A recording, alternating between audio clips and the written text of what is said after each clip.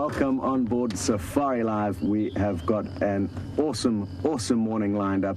Thanks to all of your reports about the sable that was seen at the Djuma waterhole last night. Can you believe it? And it was just a few days ago we were chatting about a sable, and I've never seen one in the Sabi Sands. So hopefully this morning will be different. First, though, we did come to check up on the Nkuhuma Pride and their buffalo kill. There's not a lot left to see. Tebs, if you don't mind just panning across there. This is where they were feeding last night. You can see where all the grass has been flattened around the base of this weeping wattle and under the kind of right hand portion of where the base of the tree is, right where Tebs has got the camera now, was where I saw four lioness finishing off the carcass last night at around 8.30. Popped in for a quick checkup and it looks like the hyena have come in and completely removed the carcass. There's not even a bone in sight. The poor old vultures, and I don't know, Tebs, if it's possible maybe to get a silhouette of them. It's very, very dark, but they are sitting up there. Still, you can vaguely make out their silhouette. And their gamble is not paid off, sadly, because the hyena have stolen all of the little scraps that they were hoping to feed on. So, tough luck for the vultures, good luck for the hyena. And we're going to move off now and keep an eye out as to where these lion could have gone as well as where the sable could have headed. Now, we are aware that it was heading east along Central Road. Um, after crossing the Djuma waterhole, if any animals turn, but the, the Djuma waterhole um, dam wall basically runs north-south. So if they're heading away from the camera, they're heading north. If they're heading towards the camera, they're heading south. And if they go left or right, it's west or east, respectively. Interestingly, there's a little bit of rain falling. That's why I've got the VR rig covered.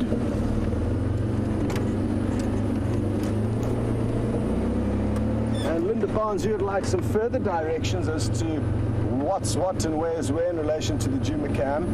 And if you are looking up towards the camp, that would be in a kind of westerly position compared to where the dam cam is faced. So if anything heads up towards the, the camp, the direct line, that would be a westerly direction. And thank you so much again to all of you who did send us through those updates. There's a long list of names. John, Kevin, Leslie, Beryl, Zumi Jody, Molly, Shannon, Diane, and still many more. So thank you very much. And now the search begins for what is an incredibly beautiful antelope. He's a fine specimen as well.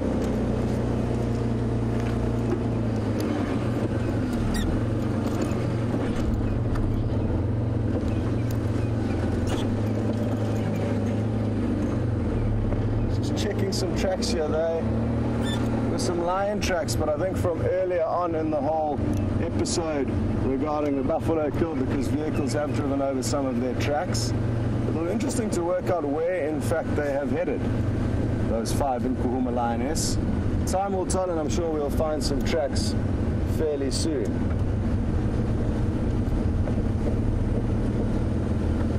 Now, Jamie has headed out on the other vehicle. So she's out and about VM on camera, and she's going to check the northern boundary, and I'm going to be checking the southern boundary, doing the kind of pincer movement, working back towards where we think we're going to find this sable.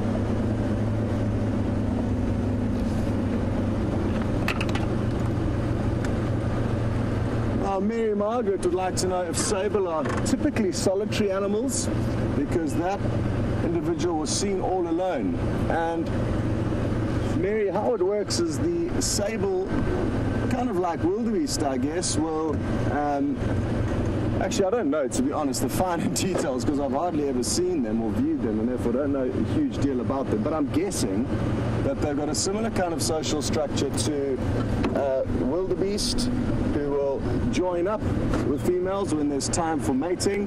And an old bull like that individual we saw, he's a, a huge, fine specimen, may have now kind of lost temper and lost the ability to mate, or he's simply waiting for the rutting season before he gets involved with some females. So either they have a harem structure, maybe you guys can help us where males will stay with females for extended periods of time like a zebra, or old bulls will fall away from those herds just like a zebra stallion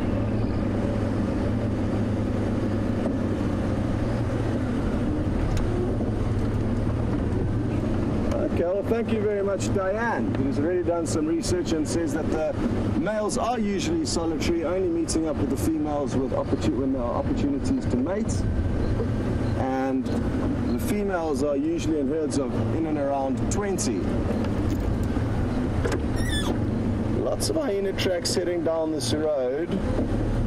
Um, but no sign of where the lions may have gone. So we're going to have to keep searching for them, but why don't you guys go across to Jamie and get an update on how her morning's coming along so far.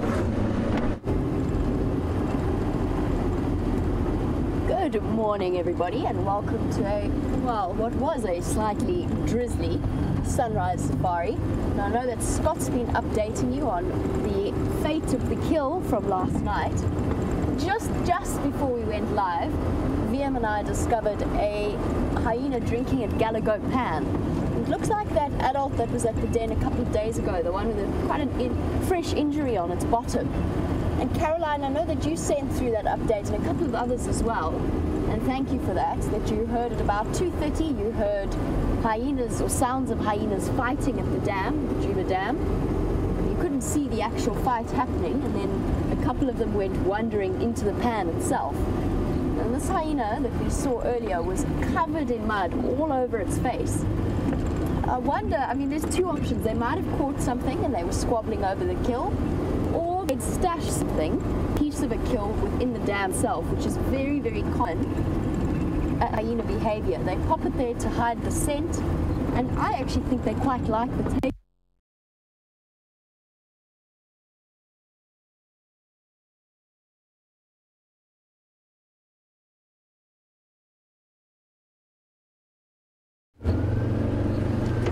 Shame.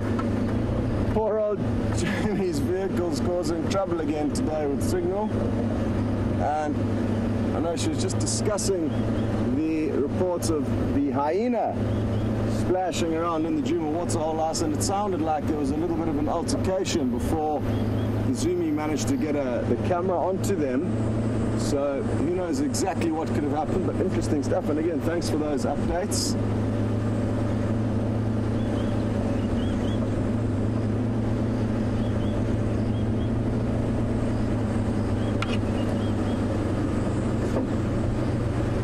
To Barbara, and yes, isn't it remarkable that hyena will use little ponds and waterholes as a pantry to store their meat? And uh, clever because most other carnivores of their size and predators of their size don't like water at all. So a lion, leopard, and wild dog will typically avoid water at all costs, at least in this area of South Africa. It varies in other parts of Africa, like Botswana, where there is a lot of water. But here, they don't like water, and by hyena thinking cleverly, they've worked out that by putting chunks of meat in there, not only do they keep it away from other hungry mouths, but it also has a kind of stewing effect. So it'll slowly probably soften whatever portion of meat or bone they've put in there, making it easier to crunch. That combined with the fact that obviously it's difficult for other hyena even to smell where exactly that little portion of food is being stored away. So a very cunning maneuver used by the hyena. And I've only seen it on a handful of times, but it's one of the most awesome things seeing a hyena arrive back at one of these water pantries, waterhole pantries, and getting to see them dig their, put their whole head under the water and then come up with this massive bone that they carry off. So Zumi should keep an eye out for that happening. It could well happen in the near future. I'm wondering where the buffalo carcass ended up. Maybe a portion of it did end up in the Djuma waterhole. The remains of the Nkuhuma's kill.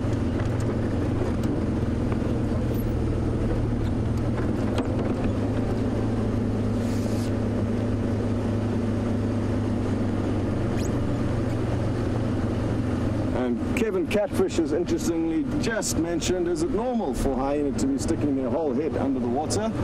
And there you go, Kevin. Now you've got a better understanding as to why they will be doing that.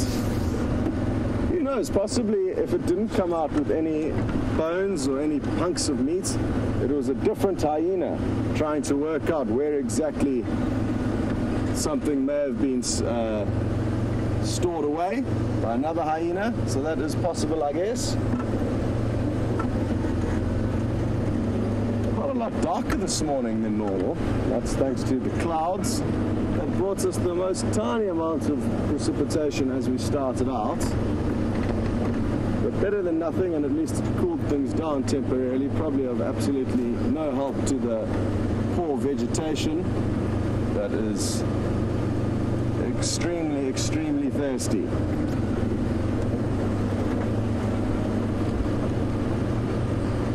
I'm very surprised that neither Jamie nor myself has found any tracks of these lions yet. So I wonder where they have headed. Difficult conditions to see tracks in though, so there's a chance we may have missed them. Tracking in the dark is a little bit extreme with, with regards to tracking conditions.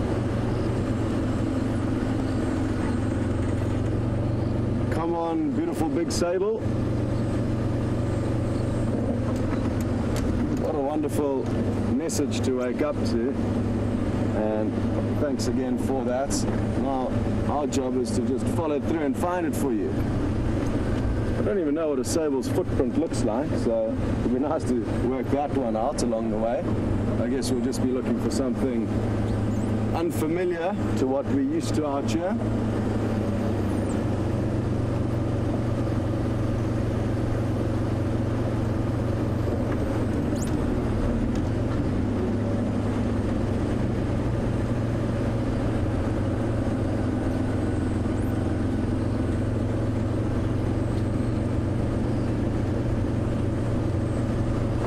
Thank you to Siberia Zumi, who's done a bit more research on Sable and says that they're like open air, so it'll be worthwhile checking that out.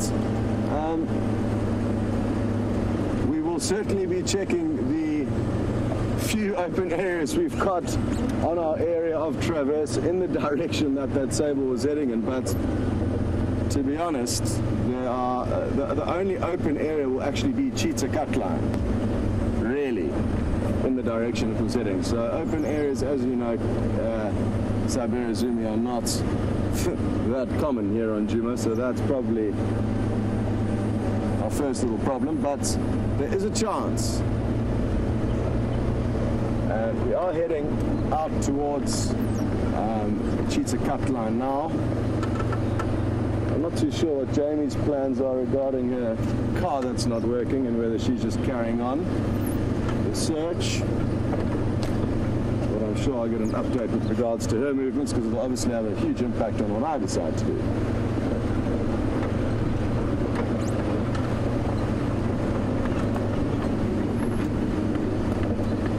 Well, good. It sounds like things have been temporarily at least fixed on her vehicle, so we're going to send you back to her right now.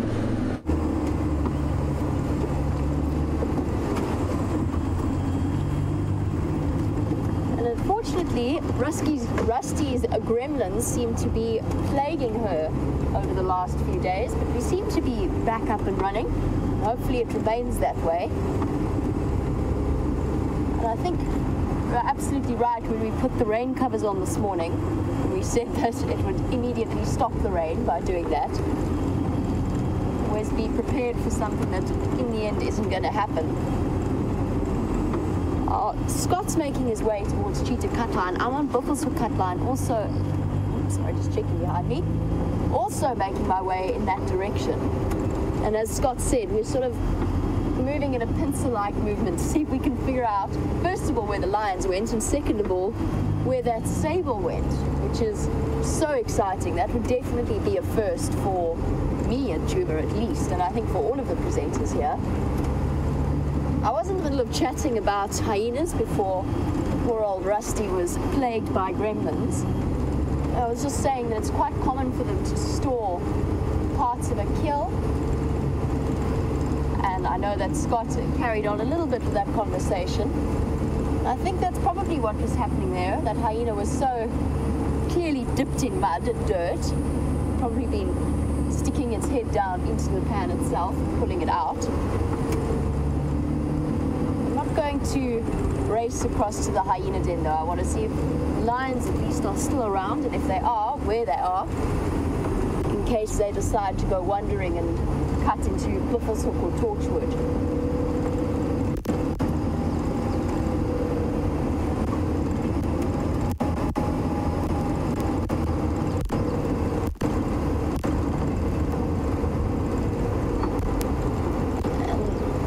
And Yesterday we had that sighting with the, the five Nkuhuma lionesses, and Michael Fleetwood, you were wondering what happened to Junior and if he came to feed on the carcass or if he's permanently on his own now.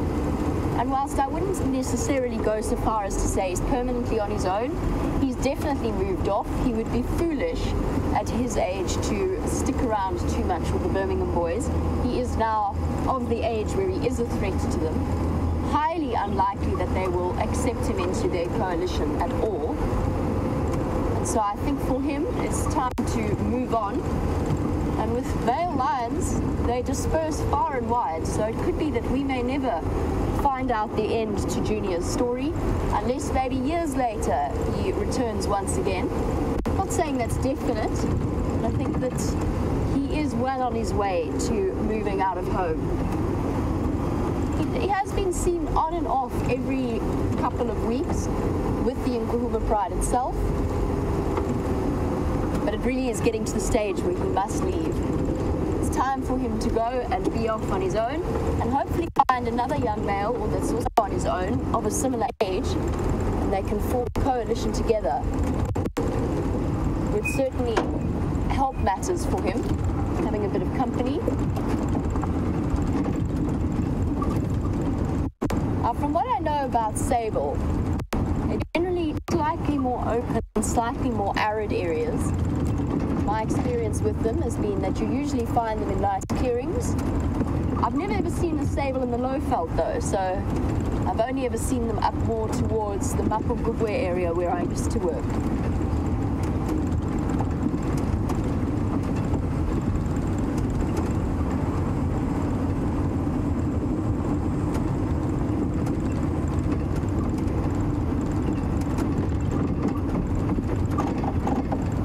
I'm just gonna hold for the moment as I go through this bit.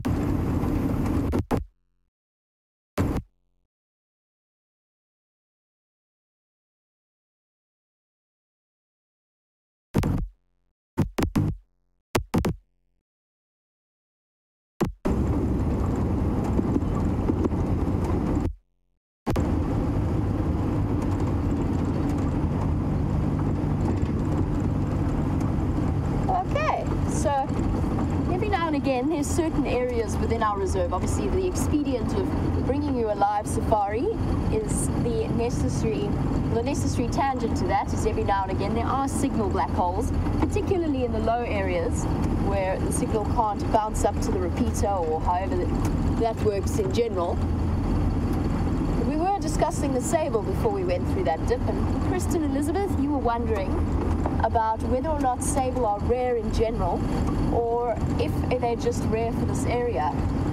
They are particularly unusual to see in this area, but they are an antelope species that actually at one point was critically endangered and was slowly. And the, one of the big reasons is because they are such attractive animals that they were almost completely hunted to the point of near extinction. See, that was ago, but it's taken quite a few years of really concerted effort and game breeding to bring them back. They're starting to become more and more common, and they are actually bred in farms as well. There's lots of um, farmers who breed antelope species, including roan and sable. But it's particularly unusual to see them in this area. You could well see them in Kruger, toward the more, towards the more northern areas. But it's really nice that that bull decided to pay us a visit, and he's huge. A nice big sable bull. And I'll tell you a funny story about sable. I've been charged at least twice by them. They can actually be quite scary animals when they want to be. They're large, they're strong, and they're quite aggressive. And it's not uncommon for them to fight back and win against any predator that tries to attack them. And I've had to go behind a tree once. The other time I got charged was whilst on horseback. It's quite an interesting experience being charged by an antelope. You're never quite sure exactly what to do with yourself. Do I do I run? Do I climb a tree? Why is this antelope attacking me?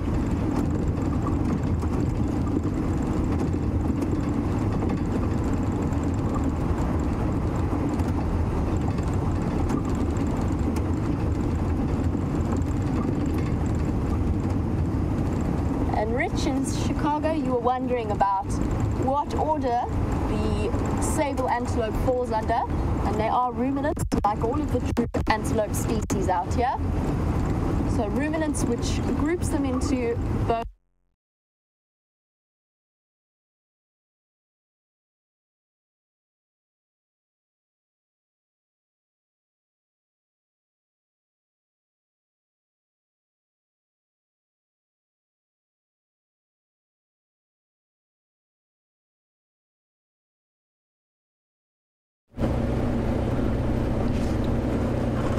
Shame.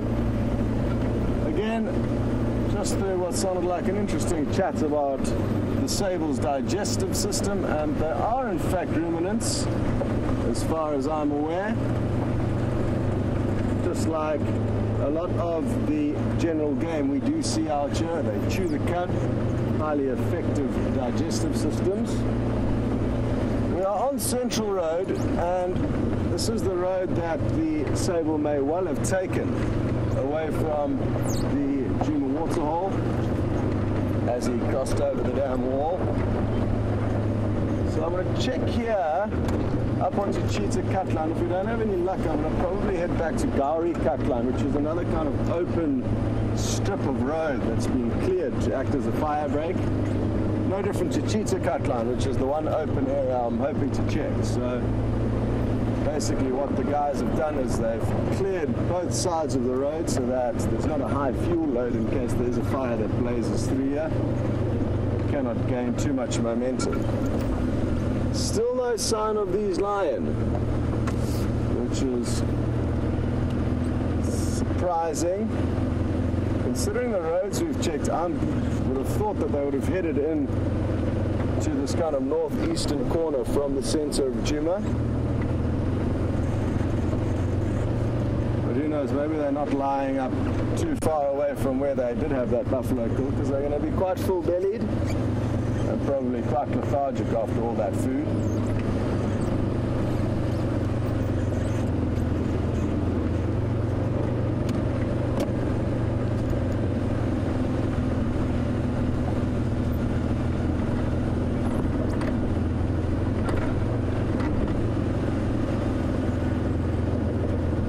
Hello, James Richards, and you've got some more info through on the sable. Thanks very much for this. It's quite interesting. Um, you say that the sable bulls will be alone until they reach maturity, and then they will join up with uh, a small bachelor herd.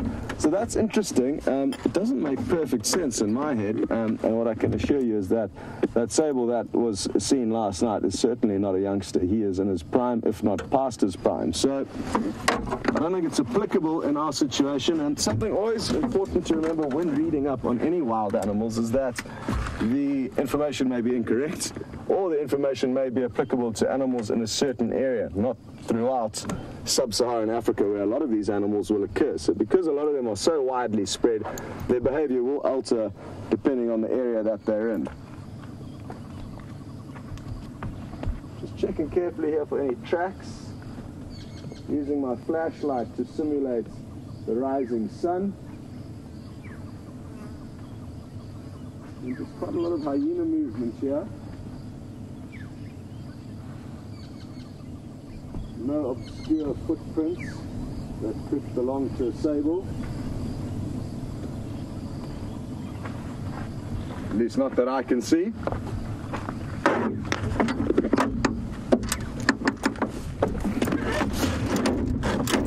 I'm guessing this is the same individual that has been seen at the Djuma, uh, sorry, the Coral Waterhole a few times. So maybe what we'll do is we'll head south towards Nkoro and see if we can't scoop him along the way.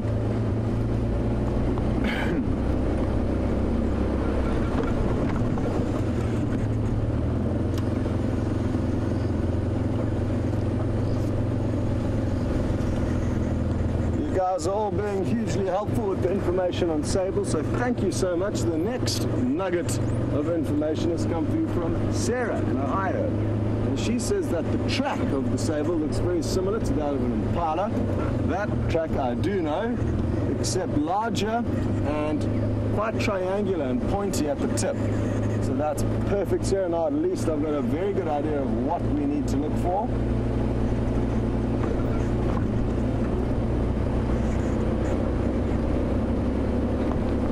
Imagine we do see some abnormally large Impala tracks that lead us to the Black Beast. Shame, some of you probably don't know what we are looking for. So let me get, get a picture out.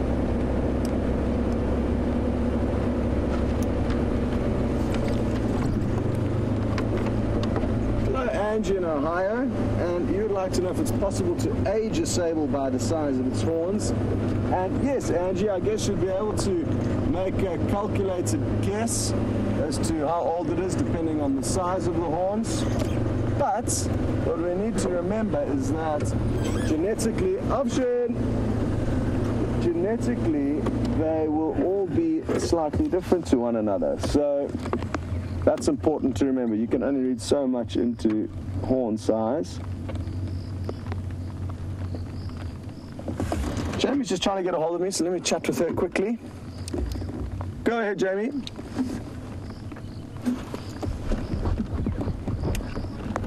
It goes off towards East One, Maduro coming from Buffelshoek along Buffelshoek East.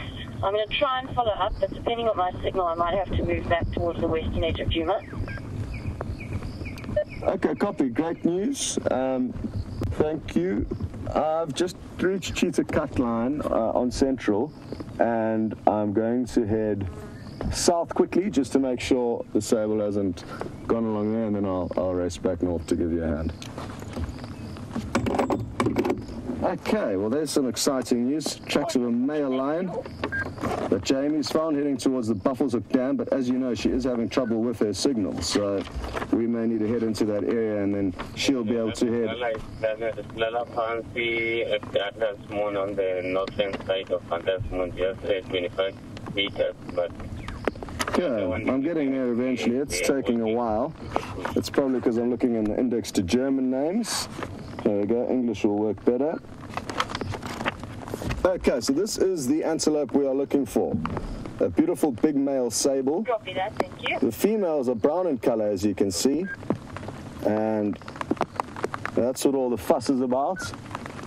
You can possibly hear the raindrops falling down a little bit harder now. And that's great. Sorry, Angie, you were asking about the ability to age sable by their horn size, and like I said, it all depends on kind of genetics, but the bigger they are, the older they'll be as a general rule. Tebs, do you want a raincoat? I think it's justified. The rain is coming down quite hard. I'm probably going to take the VR rig off from the, the hood of the vehicle as well because I don't think my jersey is going to be giving it enough protection there. My porous jersey.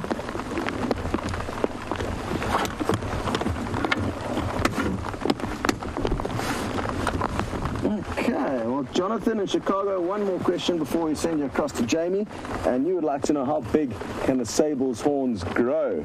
Sure. Well, you get um, a royal sable, which is slightly different to the sable that we see, whose horns are even far greater than the sable that we get this far south in Africa. Those are further north of us. And sometimes, I mean, there's reports of them curling back and touching them on their on their shoulder blades. So, I mean, curling back and touching their body, absolutely massive, almost a full circumference of horn.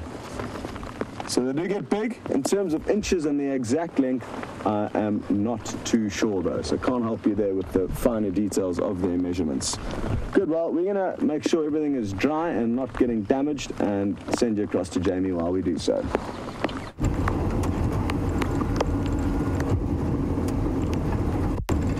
Yes, indeed, the drizzle is starting once again. The wildebeest has just spotted tracks of a male lion coming towards Buffelshoek Dam, so we're going to follow up, see if he's hanging out somewhere around here. Exciting stuff. I wonder if maybe one of the Birmingham boys has decided to pay us a visit. It's a bit tricky. I, in this light, I'm struggling to see exactly how fresh it is. So it's hard for me to tell if it came through late last night or early this morning. It's been rained in, but then currently raining anyway, so that doesn't tell us terribly much. It's now just a question of guessing where he decided to go from here. Who knows, we might just bump into that sable that Scott was showing you a picture of as we come around.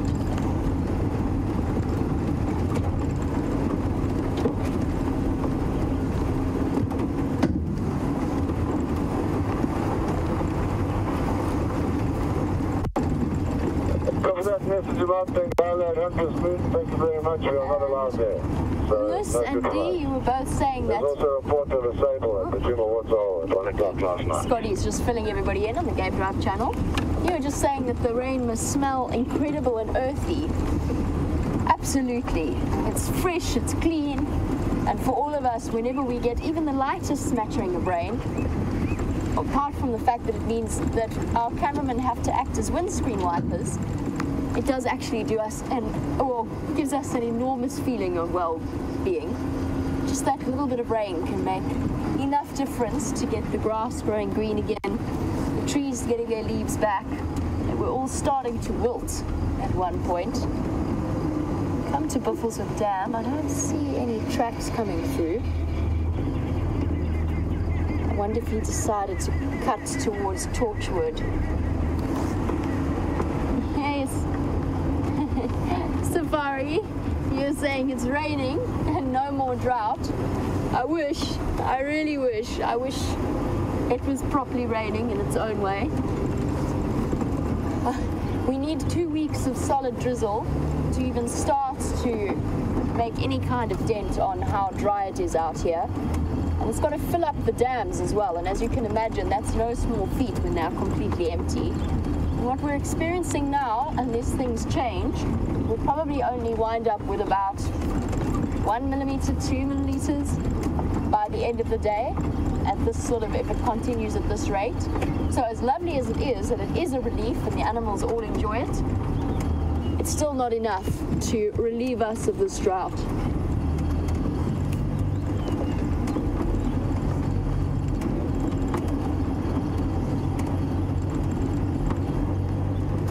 Now, typically, the average rainfall around this area, depending on whether we're in the northern Sabi Sands or the southern Sabi Sands, the south obviously has a little bit more rain, but you're probably looking at about an average of between 450 to 500 on an average year. That's the sort of standard amount that you need to keep things going. Last year, I'm not sure about this area because I wasn't working here, but last year I was about 100 kilometers away in a straight line, and that reserve had about a fifth of their average rainfall. I imagine it was something similar for this this particular area.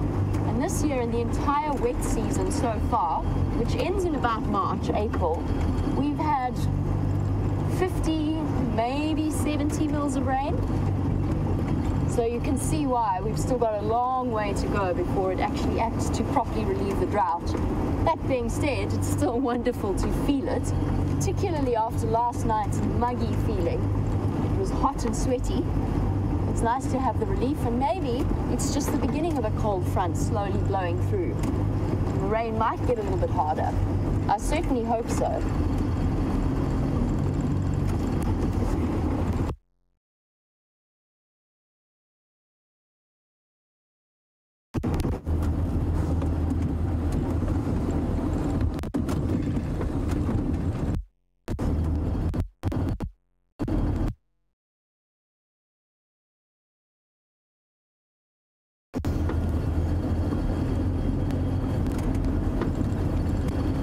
Well, As with all of our live mornings, we're driving around with no idea as to where the morning might take us.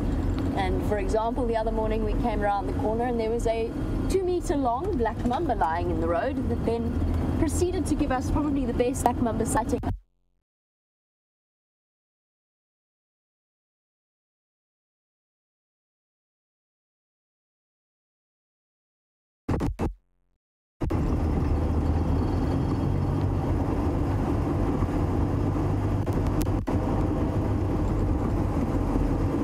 Sorry, yes. So I feel like I need to rush my sentence in case I start to disappear again.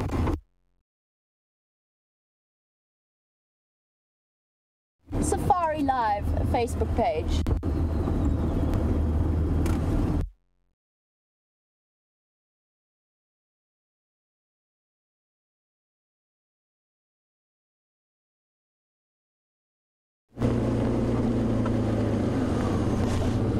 So it sounds like you uh, rushed away from Jamie there again as she lost signal. Apologies for that.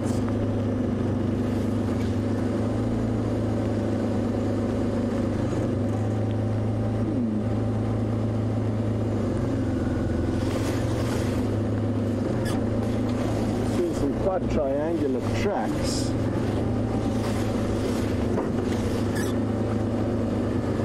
But difficult to tell how fresh they are after the rain. Um, they are down to our right over here, and in this flat light, you're probably not going to be able to see too much, but they are. It's that track there that's caught my attention. Again, it- it's impossible for you to see in this flat light, but you can kind of see. I'm not con- I'm not convinced that that is the sable, but possibly I'm thinking more that it's waterbuck. Um, but just making sure.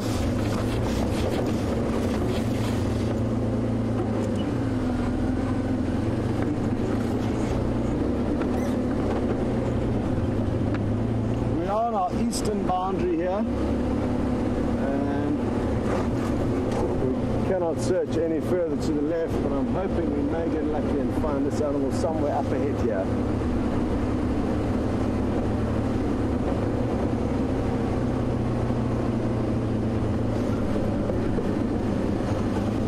Hello to Molly B.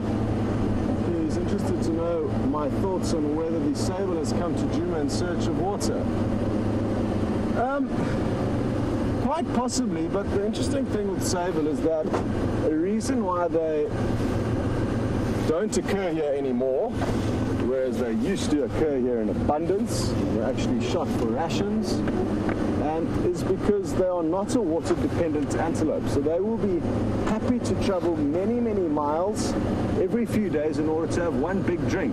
So maybe twice a week they'll travel 30 miles in order to find water and then move back to very dry areas that they prefer to be in. So the Sabi Sands is littered with many watering holes now. Um, and they are artificially made, and that's probably a big reason why the sable are no longer here in the densities that they were many years ago. And so I don't think it's water that's brought it here, um, possibly more food than anything else, um, and maybe the fact that it has become drier has started suiting this individual better because there's less water around than there normally would be at this time of year. Whereas had we had, had our normal rainfall and there was water in all the water holes, it would probably think about being elsewhere in a drier area. Difficult to know exactly, but it's it, it's it's unlikely that it's here in search of water because they are not water dependent like other antelope.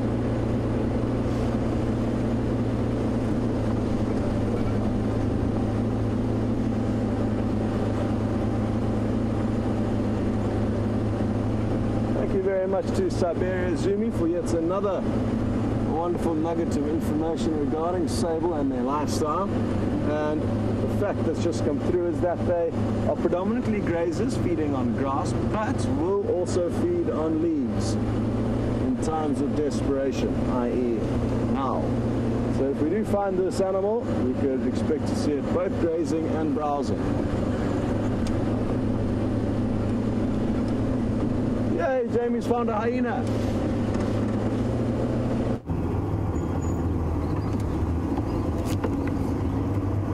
got a hyena here, and it's playing very hard to see, moving straight into a very dense patch of vegetation. You can see a tail moving through the block. Oh dear. Disappeared off into the drainage line. Oh, we tried, but it was on the move, probably on its way back towards the den. I wonder where it's heading to. Actually, that reminds me, when I came around the corner, I saw a harrier hawk being mobbed by grey hornbills, which is also fascinating, but I think it's already managed to escape them. So the hyena, that particular hyena as well, also had a face full of mud. I'm not sure if it was raiding Torchwood's dam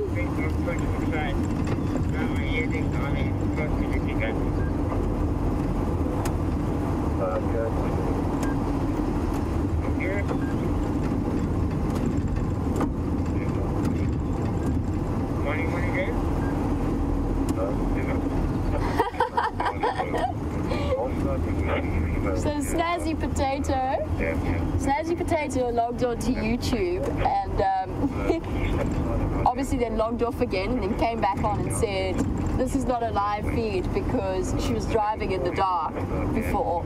And Penelope, we really enjoyed your retort, just by the way. Penelope has said that Snazzy Potato perhaps missed the whole Earth rotation deal that causes the whole day and night effect. So Snazzy Potato, if you ever happen to log back onto the show, and of course we always encourage you to do so. Um, sometimes in Africa, as it does in other parts of the world, it gets lighter in the morning. And then what sometimes happens as well is in the evening, and I say sometimes happens, it's a really unusual case, this particular aspect, but at night, in the late afternoon, it actually gets darker. Thanks, Penelope. We enjoyed your, you provided us with a couple of chuckles there. Uh, at some point, unfortunately, we are going to have to pop back to the camper and see if we can replace a cable that seems to be creating extra problems for poor old Rusty. Rusty appears to be in the wars.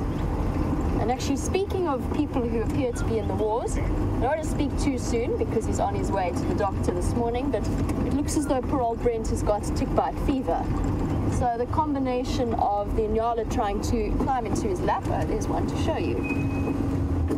And now tick bites, he's feeling very sorry for himself, but he will be absolutely fine.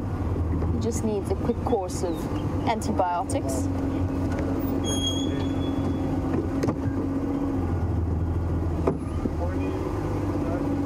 Beautiful male. Look at the ivory tips to those horns.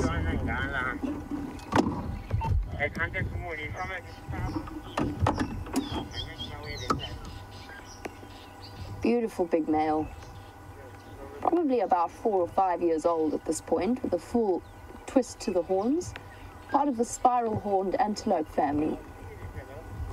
And of course, all united by the twirls in their horns.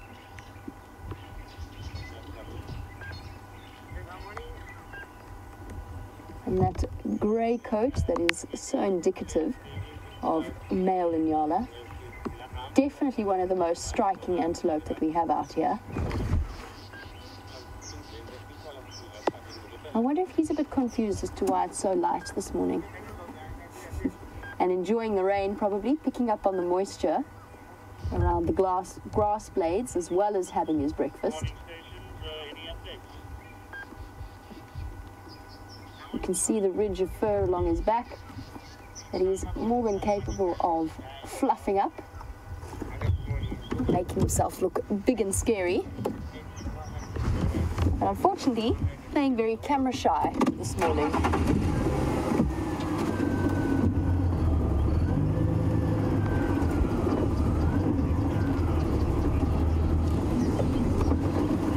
Here we go.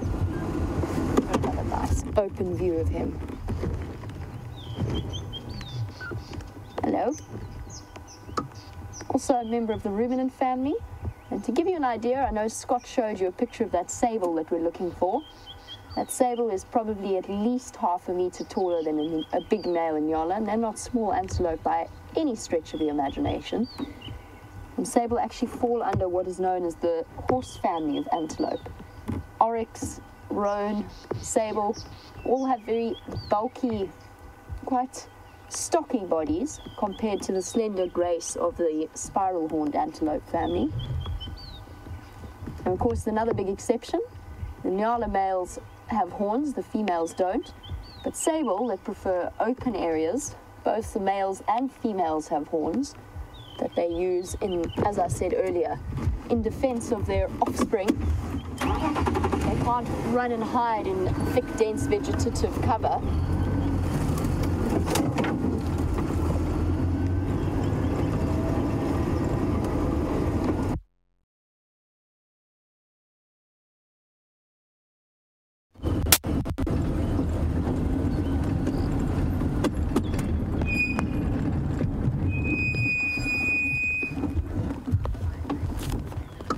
He wanders through, I know that when I went through a patch of black signal, and I'm actually quite wary of moving the car even now.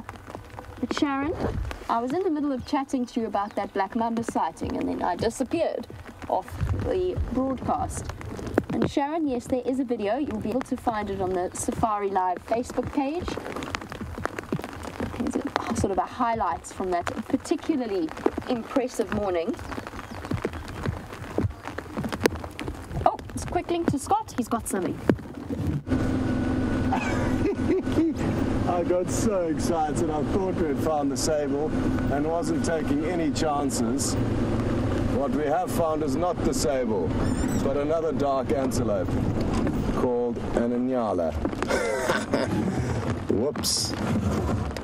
But like I said, I wasn't going to take any chances, and I was just running through the thought process in my head. There's the sable. Oh, look here on the left, right in front of the vehicle. Can you believe it? Hello. Morning. What can we do for you? Hey? Shame. You're getting a bit too close. We can't even see you anymore. Would you like some shelter under our vehicle? The hyena looked soaking wet. Oh, here it is, right next to the right-hand side of the car. You can... It's moving right alongside. I'm trying to move out the way. You can just see its hair sticking up, and it may put its head up right next to my door. Hello. What is catching your attention? Can you smell the lion? Here it is. Yeah, you'll be able to see it now. There it goes. You can see it's been lying in a mud wallow. Its body's entirely wet. That's not from the rain. And I wonder what it can smell. I mean, probably the scent of lion from where we were driving around, and also that buffalo carcass. When I parked in that area earlier this morning, we drove over the rumen, the stomach content of where that buffalo was actually killed. And obviously, there also have been a lot of hyena scent as well as lion scent gathered onto our tires. And isn't it an incredible sign of how good its sensors are? It came straight up to our vehicle to work out where these smells are coming from. It's still walking behind us now, trying to work out what on earth is going on. So a little bit confusing for this hyena, but here it comes again. Sorry, is this all a bit confusing for you? Don't worry, it was a long way off where we had I could literally reach out and touch it on the nose. I mean, that's how close we are. I'm not going to do that. Hello. Hey? Oops. We got a bit of a fright. Um, and absolutely awesome. It's certainly intrigued by the smells from our vehicle. Well, I'm glad we raced you across to us anyway because um, the false sable at least got us this cool sighting with a very inquisitive hyena. Sacrosanct, you know a little bit about South Africans and what they love snacking on. A delicacy called biltong, which is dried meat, essentially like jerky, I guess. And Sacrosanct was asking, can he smell the biltong on the vehicle? And I wish he could. It would be great to have some biltong for breakfast. He's just seen the false sable, the Inyala. And I think it's a male eh, hyena. It could be a female, but judging by its size, it looked like it could have been a male. I'm not sure if any of you recognize that, any of our hyena wizards.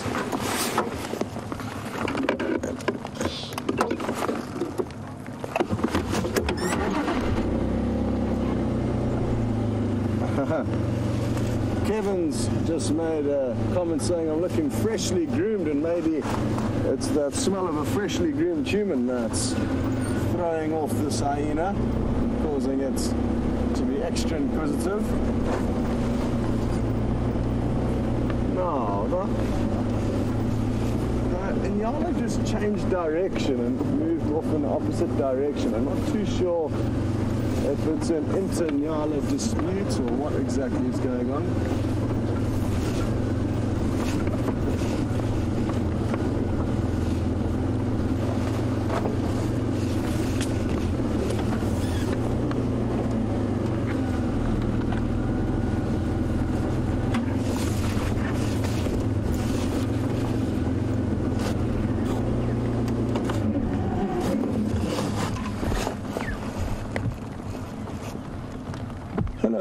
Brian Jurgensen, would like to know how many twists will a male Inyala have in its horns?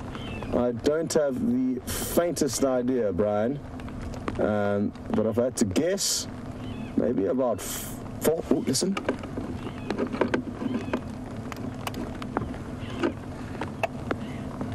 I don't know if that's a bird. It is a bird. Strange call, but it got the hyena quite excited for a moment and it kind of hopped off in that direction. At first, I thought it could have been a small antelope.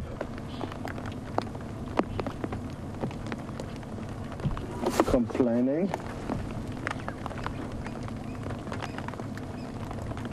Just gonna listen carefully just to see if we don't get any more audio.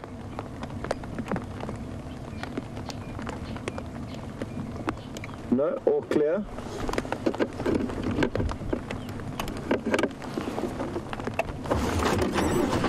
Okay.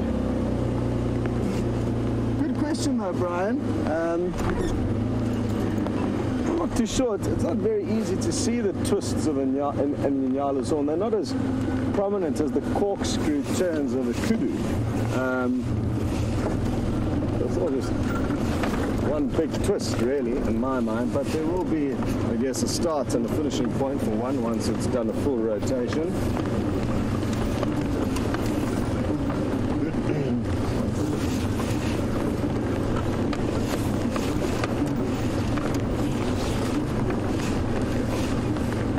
One thing that I do know about the twisting in nyala horns is that, as well as the kudu and the bushbuck to a degree, they're all spiral horned antelopes, the three spiral horned antelopes that we get in this area. And that they have got little ivory tips on the end, and those are good indicators for a bull being in its prime. There'll be about an inch or an inch and a half of white horn right at the tip.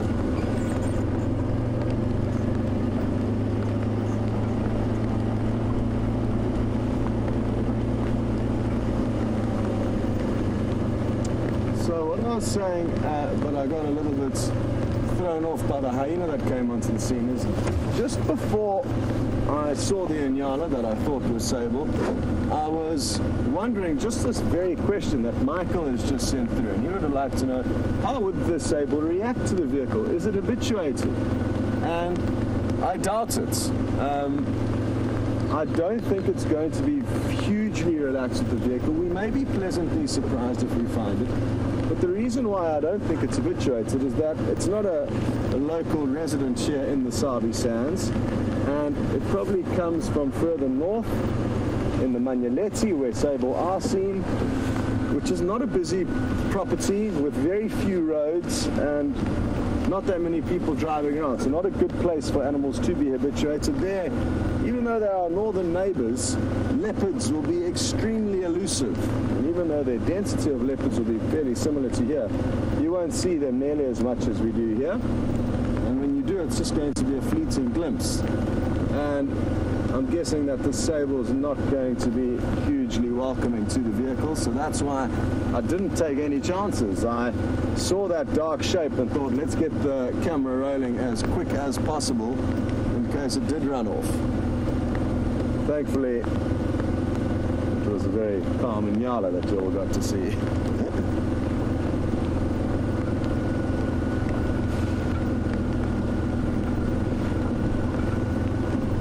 Hello, Rain, just 15 years old, and you ask a good question. You're wondering whether or not the animals will be a little bit afraid or unsure of the sable because they're also not used to seeing it, just like I guess the sable's not used to seeing us in vehicles. Um, to a degree, um, I think they're going to be more understanding of its presence because it's four-legged, looks like a inyala, I guess. Um, it looks like an antelope but most of these animals will be fairly used to seeing. So I don't think that they're going to react hugely differently to it. They're going to treat it just like other antelope. Um, but it would be interesting to see. It, it really would be interesting to see, right? Release can. Let's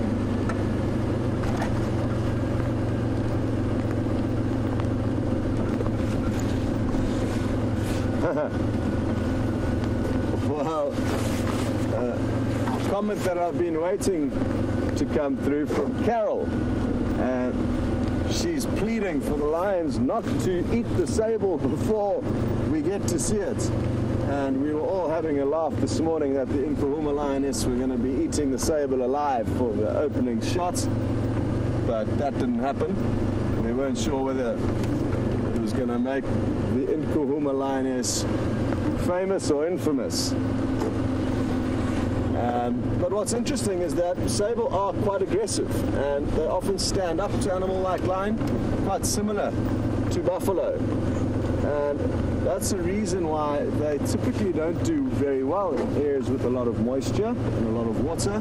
And probably why they've moved out of the Sabi Sands is because there may not have been as many predators here and as many antelope here many years ago, but as soon as water was put here, it became a more attractive place for both predators and prey.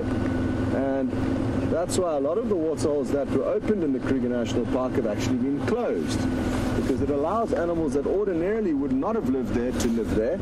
So they're going to be more lion giving the sable a hard time. And, and over many, many years, sable have become used to being in areas where maybe there weren't as many lions and there weren't as many other antelope.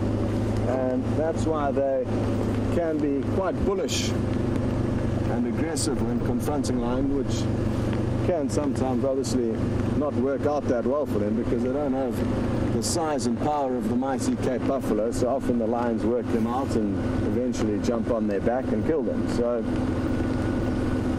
some interesting thoughts there on the sable and their slightly aggressive nature. I've never seen this, it's just what I've been told. and I've had very few sable sightings in my life, sadly, so let's hope we get lucky. While we continue into the general area where Jamie is, was last I knew she was there, with those male lion tracks, we're going to send you on to her vehicle for an update.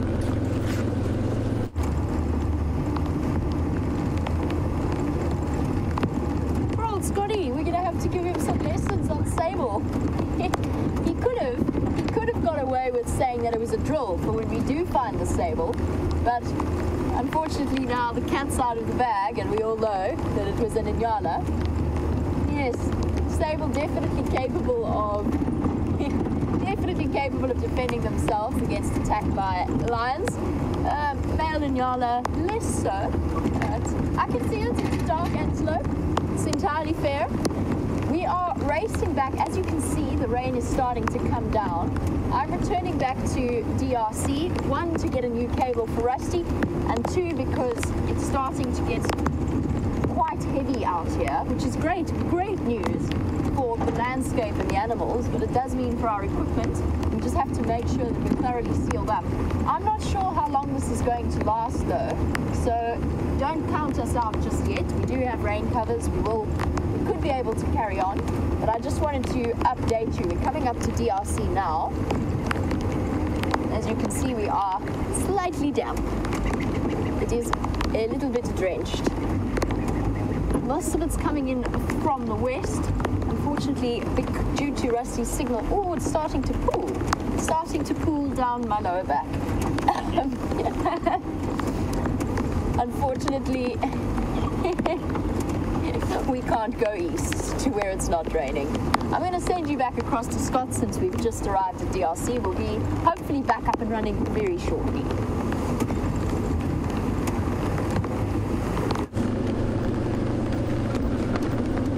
Really is quite pleasant driving around in the rain and when I was a regular guide and we didn't have to worry about all the equipment, it was actually great fun being out. It's an experience that most people actually haven't really been involved in in a lifetime on the planet because usually when it's raining you seek shelter. But there's something quite invigorating about being out amongst it in an open vehicle. Um, but obviously, as you all know, we've got a lot of high-tech equipment on these vehicles to get the pictures out to you, and don't want to ruin that. But there's good news. We've all agreed on a revised version of the current rain system, which I've called the Civ, and hopefully it won't be too long before we get a, a proper system in place that will allow us to stay out for longer. So that's something to look forward to. It's in the pipeline. It's been approved. And we have got a design that we put forward in the past that was relegated, but it is now going to be given a shot after the sieve has proved hopeless. That's something to look forward to.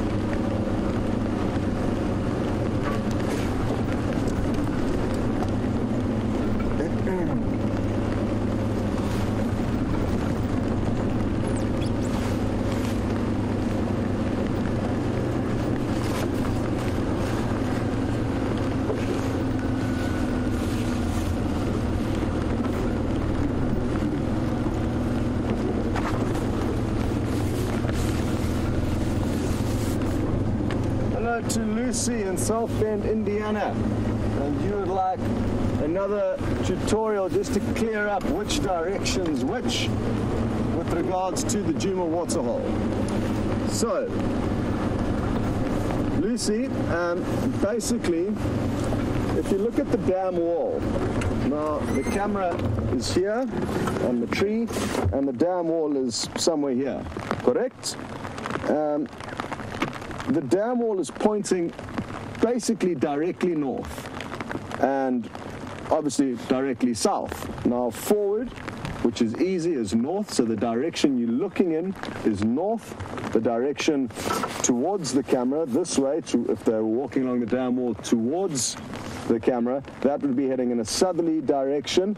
And then, obviously, if you bisect that, you'll get east and west. So the lodge is west, or that little inflow that feeds into the uh, Djuma Dam that is now dry comes from a westerly direction running east and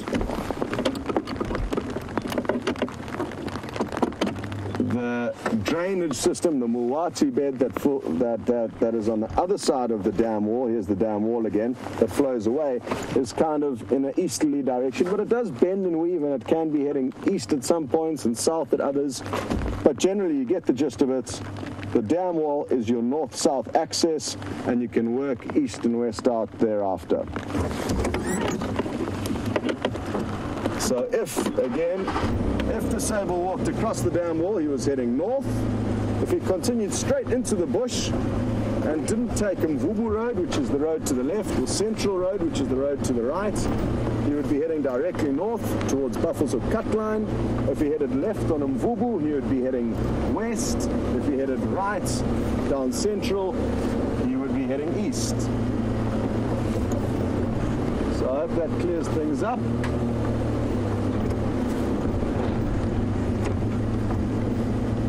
Obviously it's vitally important that we get the right information from you guys when following up. We've often been caught out by leopard who are seen at the Warthog camera. We arrive minutes later and usually we get some quite confusing reports through as to which way to go, so that obviously doesn't help.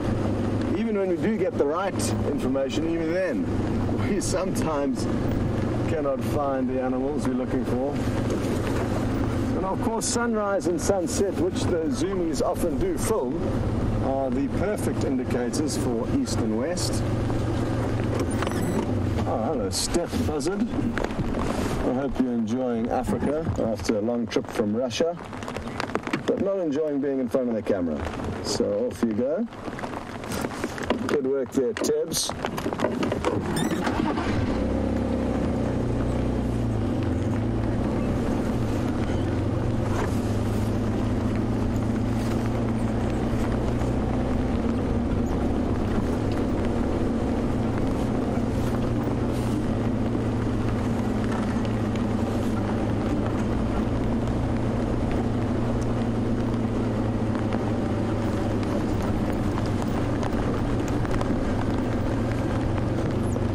Shame, a lot of you are concerned about Brent's health, and let me assure you that Brent will be fine. He is not in any majorly dangerous situation. Um, so don't worry about him. We're only an hour and a half away from the closest town, which is not far. And there is also a permanent paramedic based in the Sabi Sands who can't come out to any of these lodges if there isn't an emergency. And he's got a Land Rover that's kitted out like an ambulance. And he's here in order to be, to be able to treat people for trauma and obviously everything below that. But he's kitted out for people who, are, who have been squashed by elephants or buffalo. So I think Brent's spider bites is nothing to worry about. So everyone can be calm and not worry too much about Brent. He has worked in far more remote locations and far more dangerous scenarios than his current spider bites. He obviously just wants to go and get some antibiotics, which you need a doctor's script for in town. So it's far from life-threatening. Linda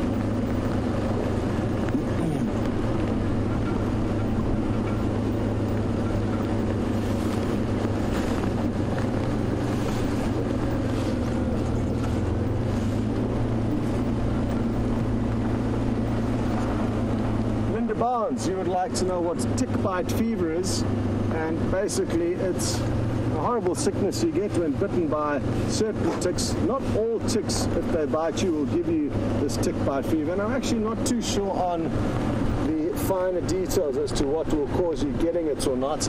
I've only had it once, but sadly I had it combined with hepatitis, so it was a combo deal and I couldn't tell which was causing which symptoms. Um, but it was it wasn't much fun, that I can assure you. But I think it was the hepatitis that got me more than the, the tick bite fever. And I've only got it on, on one occasion. One thing to look out for for any bites though is when they start going black in coloration, or small black dots left behind after bites. Even though it might not be painful at that stage, that is a good indication of something that needs to be checked out. And usually that little black dots um, is there before you start feeling any major pain or symptoms.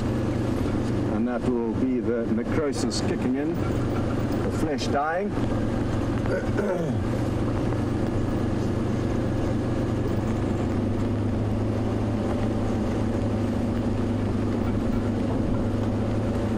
Well, some good news through from Jamie and VM, and they are making good headway on their tech issues and should be heading out fairly soon. So that's some good news.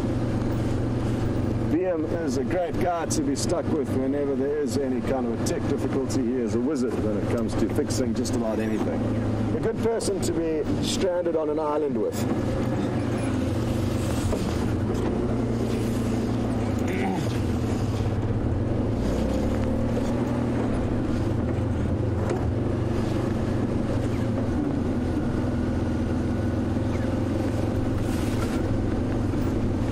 Hello to Who watched her first live safari yesterday, and she sent through a very long comment, all with very kind words and praise, saying how much she loves the experience. And Megan, that's wonderful feedback. Thank you so much, and it's great to have you on board with us. Now, why don't you let us know where you're from, Megan? It's always wonderful to know where in the world all of our various viewers are watching. And like I said, you are very, very welcome. And you tuned in on a good day. I mean, yesterday afternoon we had some wonderful action. But each day is different, as already you're seeing. Today we've got a bit of rain keeping us on our toes. The reports of the sable antelope last night. There's always something exciting going on. Sometimes it's with the well-known stars of Africa, and sometimes it's with some of the lesser and smaller known characters out here. But we're very fortunate to be traversing this wonderful reserve in northeastern South Africa. And who knows what we'll find this morning. Maybe we'll get lucky and find you a leopard. You wouldn't have seen one of those yet if you only tuned in yesterday. And this is one of the best places in Africa to see leopard actually, so you've come to a good spot.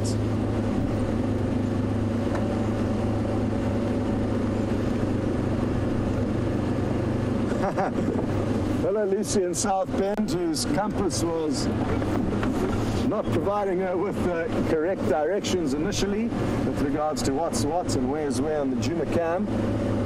And it's a great pleasure, Lucy. Not a problem at all. You guys help us out so much with all of your reports that it's the very least we can do. Uh, let's go and take you on a quick little tour of what's at the dam. I thought you would have had a look with Jamie earlier, but let's go and have another quick squiz. Where there'll probably be nothing really to see other than a dried up pan. Oh, there's some water leaking into my bottom on this poncho. Interesting sensation. Okay, nothing to see here. An empty water hole. So we shall continue. You can smell some lion poo from the other day.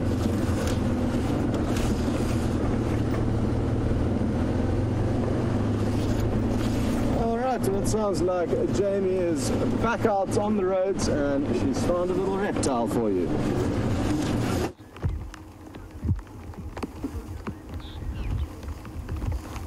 Look at this little guy already with the rain falling. He's decided to come out and have a drink. When we first came around the corner, he was trying to find some moisture on the road. We're just outside of quarantine, so I wonder whether or not it's the same, one of the same tortoises that I saw having a fight the other day. I saw two males clashing. He's been injured at some point earlier in his life. He's got a big scar through his shell or a big fault in his shell on the right hand side. Probably some kind of lucky escape, quite possibly, or maybe an encounter with a hoof could have caused that. Broken the shell and it's healed, slightly scarred. This is a Speke's hinge tortoise.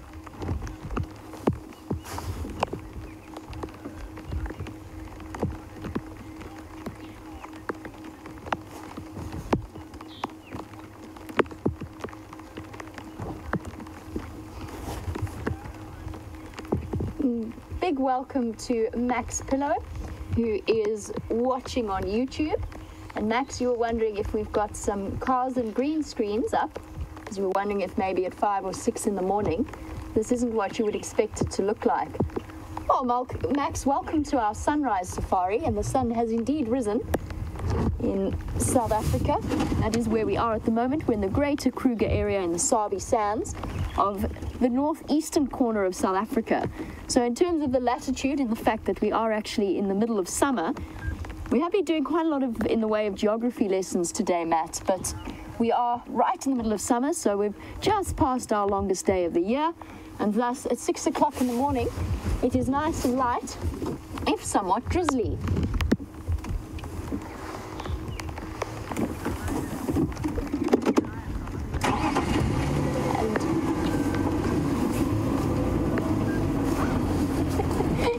Penelope, Penelope, you are on fine form this morning, providing me with endless, endless entertainment.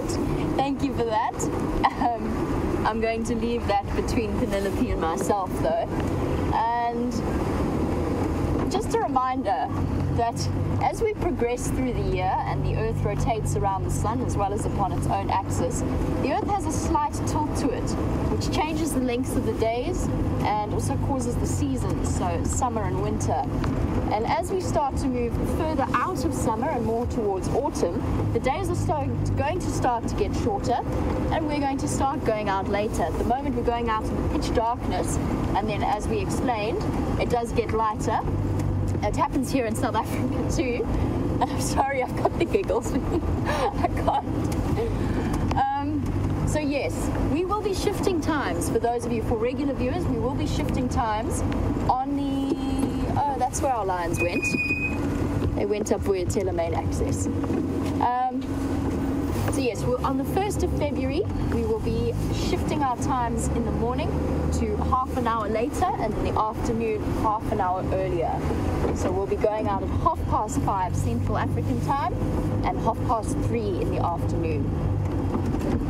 And we will continue to do that, obviously trying to keep as close as possible to the natural sunrise times. It's a bit tricky in half hour increments, but it does mean that you're out in the bush at the best time of the day. I'll try and show you what I'm looking at. I said the lions came through. Their paw prints are moving up the road. Those are lion tracks. Those are lion tracks in the six o'clock morning light in midsummer in South Africa. And I'm going to hop out to show you a little bit of lion tracks. What I just need to do is set up our green screen to make sure maybe we get the green screen lines up ahead of time. Let me just show you the line tracks quickly. So, if we can look at which is the easiest one, this one maybe, Wildy. Cool. Cool, thank you. Now this is actually, I'm always amazed at the size of the Nkuhuma females tracks. It's almost the size of my hand, just a little bit smaller, and moving in this direction. How do I know it's moving in this direction? There's one toe, two toes, three toes, four toes. And then, if we look at the back here, the back pad, one, two, three lobes. So this is the track that we're looking at here. I'm going to draw it for you to make it clearer in the sand.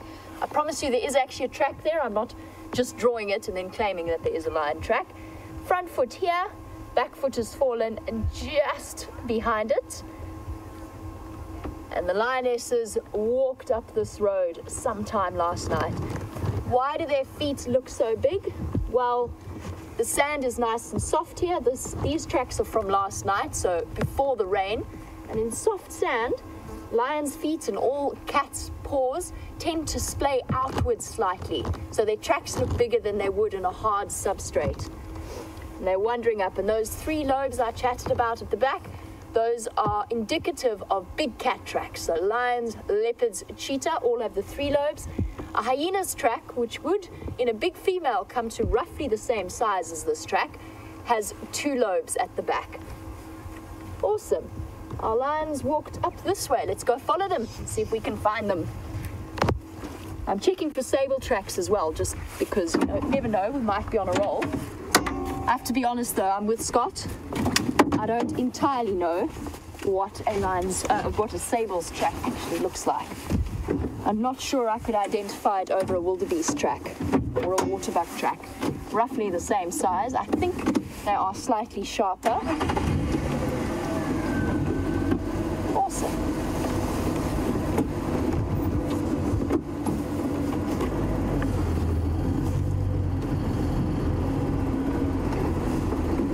Awesome.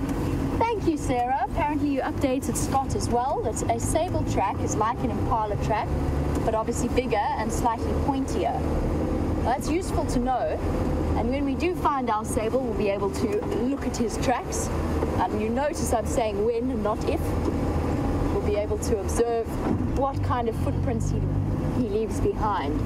Interesting thing with Impala tracks, they're what's known as rim walkers.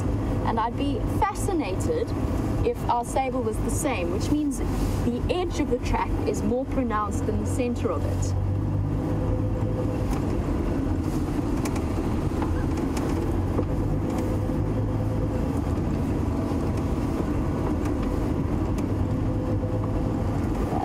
Awesome news. It seems as though Scott is going to come and join us on our lion slash sable expedition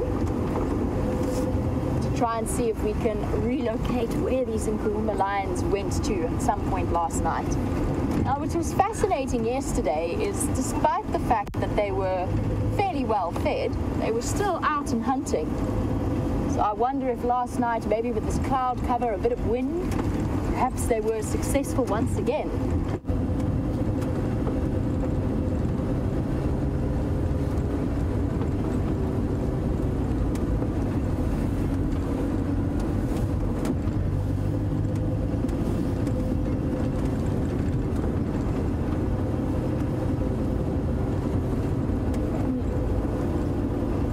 Of course, one of the things that we've been seeing a lot of while we've been out and about is baby species. Love Three Dogs, you were wondering with sable if they have a set breeding season.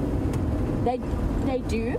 As far as I know, they don't give birth in winter, they give birth in the summer rainy season. That being said, it's not set quite to the point of the wildebeest and the impala, which tend to drop their calves almost um, simultaneously, or at least within a week's space of each other. Um, sable will be a slightly more extended period, similar, I suppose, to buffalo, is maybe quite a good example.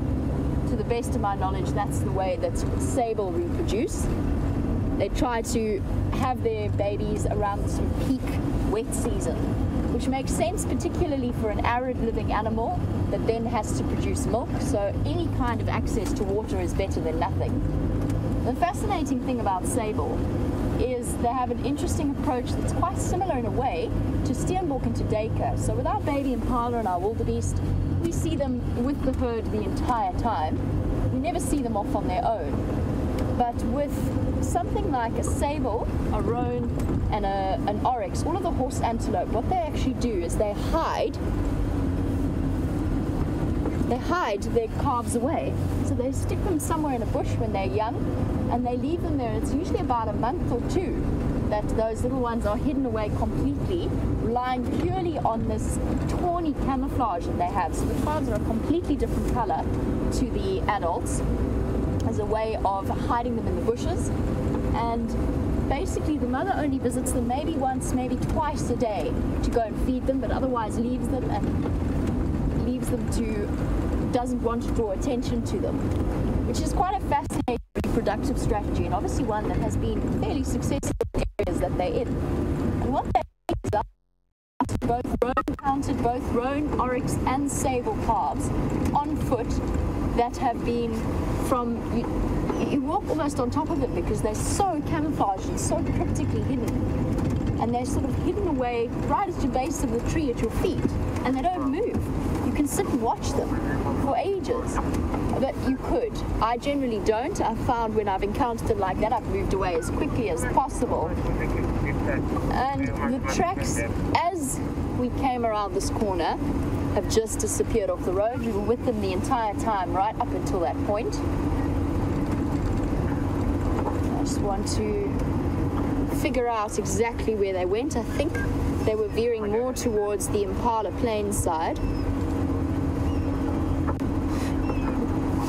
Lions, where are you? Let's check this junction thoroughly.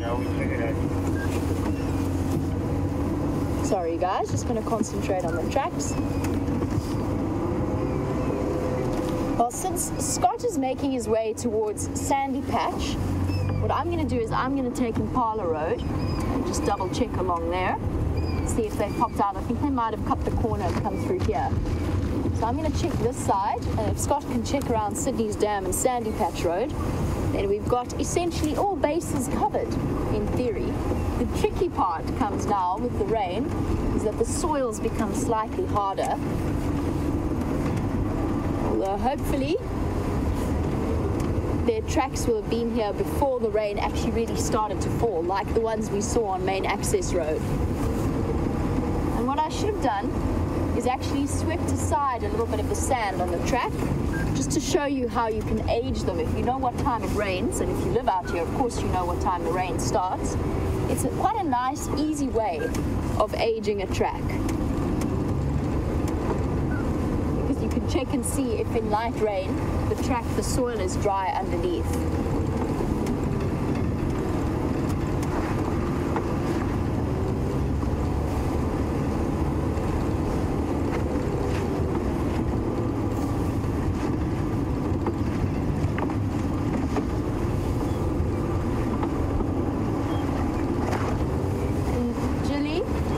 and Julie and Julie Wisconsin and Teresa and many others, you're concerned about Brent.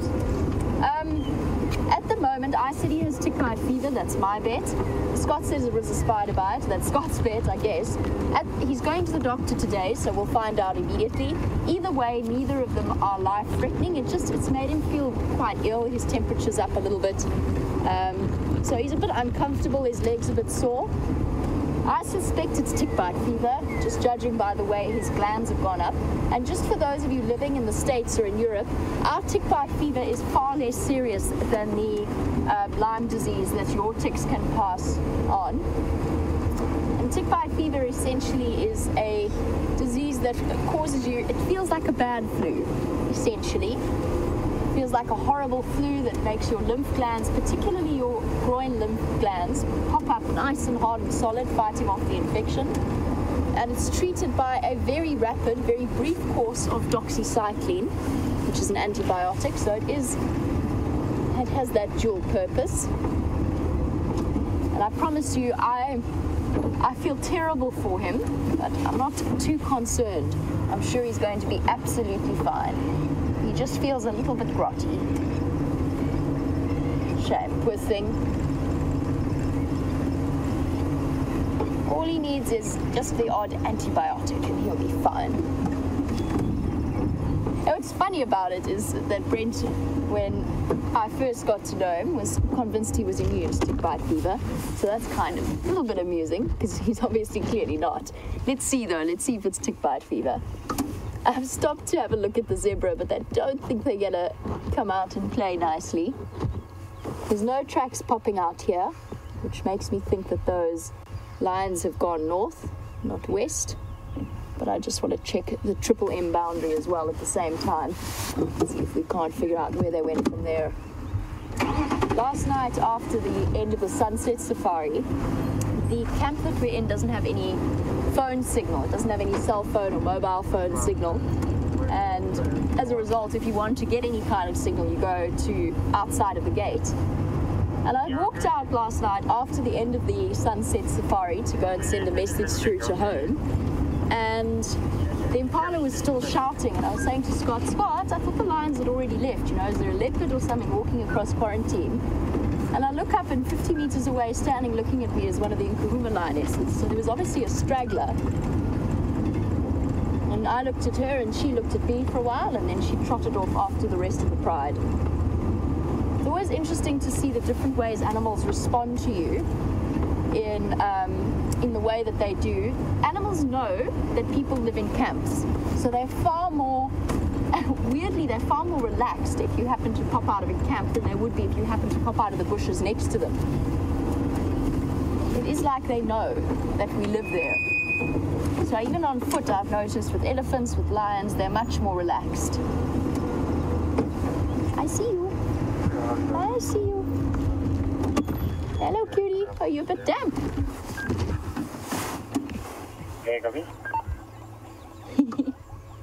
Little female Steenbok.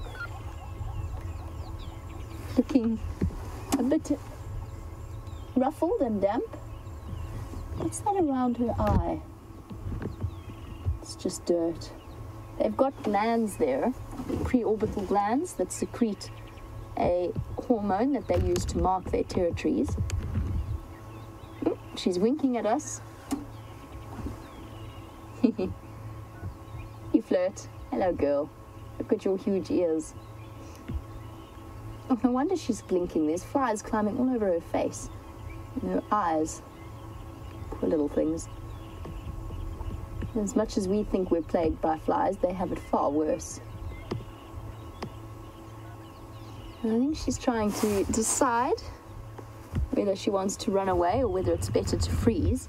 The general standard Steenbok approach, which is either to freeze like this and rely on camouflage, although I have to admit, girl, it's not doing you any favors now.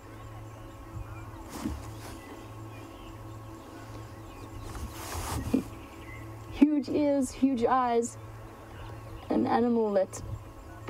Oh, good girl. You're nice and relaxed. Not often that we get to have a Steenbok sighting like this, so we can all enjoy it. I love the white highlights over her eyes, they're like eyebrows. It's so fascinating. I've never really noticed that in Steenbok before. This is what I love about this camera and the zoom effect that it has. Is that you get to notice little details that you might otherwise not have picked up on. Like her eyelashes framing her eyes. And for an animal that hides away in dense vegetation, and most of the vegetation out here has thorns, it's crucial as a way of protecting that eyesight. Oh, she's devouring that plant. With considerable speed.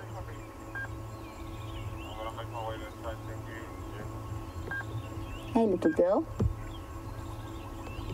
The Steenbok males and females look very similar to each other, but the only difference is, of course, that the male has a tiny little spiked horns. And to give you a rough idea of scale, she, at shoulder height, would probably come up to my knee. It is one of the tiniest, tiniest little antelope species that we get out here. The only smaller one would be a Sharpe's Grysbok, which we have yet to, as far as I know, we have yet to put on camera. They're quite rare little antelope, but they do occur here. You never know. It's much like our sable search, constantly looking for new and unusual antelope to show you. Enjoying that. One ear poking backwards. Those incredible ears giving her a directional sense. And also a way of amplifying so she can look at us with one ear. Sorry, let me try and rephrase that. She can look at us and listen to us with one ear, and then listen behind her with the other. Completely independent motion. Bye bye, girl.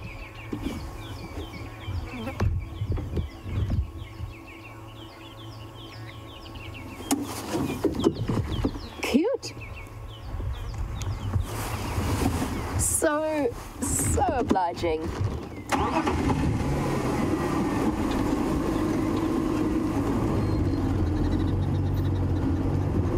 And a question coming through from Dan in Los Angeles. You were wondering whether or not we get topi out here. And no, we don't. I think they are a type of antelope species, although now I'm feeling, now I'm starting to doubt myself. But we definitely not one that occurs within southern Africa, as far as I know. There's quite a few. Ooh, fly in my mouth. There's quite a few antelope species that I am desperate to see. They're still on my list of animals to, to go and find and observe. Ooh, what's we got here? Looks like a black-chested snake eagle. Try and catch up with it. Well done, Bully.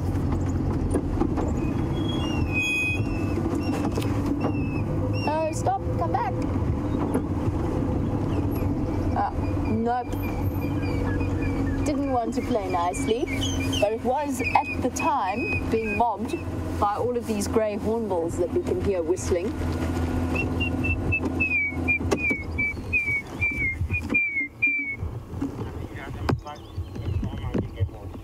You victorious. Did you chase that eagle away? Fairly. This one's going to start.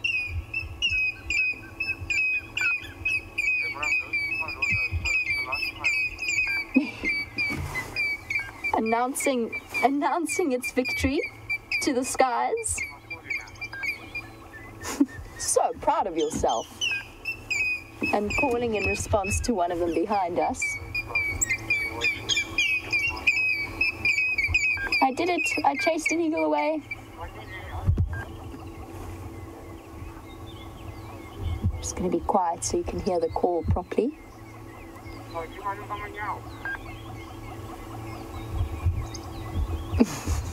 in theory. Has to be calling though for you to be able to hear it.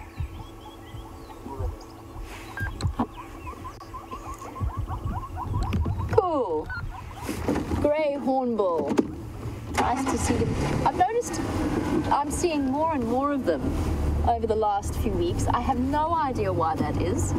I don't know whether it's because some of the other bird species have moved out of the area in order to follow the rains, and as a result, the grey hornbills are being more successful. I really don't know. I just have noticed a tremendous increase in grey hornbills. And I've just remembered about the red-billed hornbill nest that I found at the lion carcass yesterday. So at some point we must pay a visit to that. It was so entertaining while I was sitting there watching the male come in and feed his chicks and you can hear all their little begging chirps. It's probably still at the stage, in fact, where they are entirely reliant upon the male because essentially what happens is the female goes into a hole in the tree and this applies for yellow, red and grey like the one we were looking at they go into a hole in the tree, they block it up and then they the female goes in and lays her eggs and she sheds her primary flight feathers. And I keep forgetting about this tree, the roadblock of notes.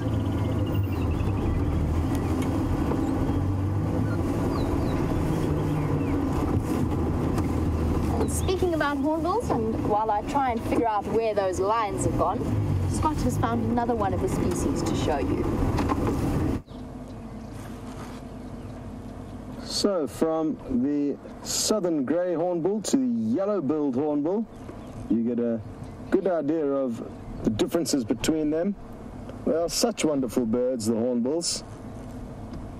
And these two look like a happy couple, spending the morning drying out after the little bit of rain we've got before they start hunting for insects, although it looks like one of them's ready to start looking for breakfast. And they will feed on small termites. So often, it's hard to even see what they are picking up with that big bill of theirs. So they can feed on tiny prey as well as prey up to the size of large chameleons. Which is always a bit of a catch 22 for me because I love both the hornbills as well as the chameleons. And then seeing one eating another obviously becomes a little bit tricky. You can hear a go, grey go-away bird calling, quack, quack. Maybe that's what caused the hornbills to fly off. That little alarm. I can't see the bird of prey flying around. Um, who knows? Possibly it was the same one that you guys saw with Jamie that's caused this commotion. I am in the same area as um, on our western boundary and things are looking good. The lions haven't crossed north, or at least according to what I saw on the road, there's no evidence of them crossing north towards Sydney's dam. And now we just need to make sure that they don't cross west into Simbambili, and then we can start fine tuning where they may be sleeping on Djuma. So I'm hoping that's the case.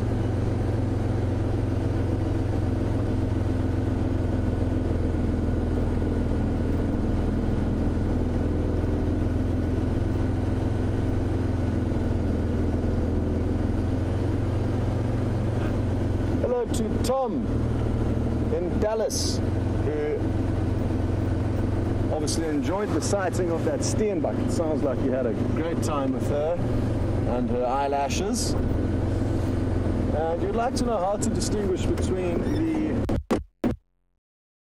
another antelope that you don't get here. The dik dik.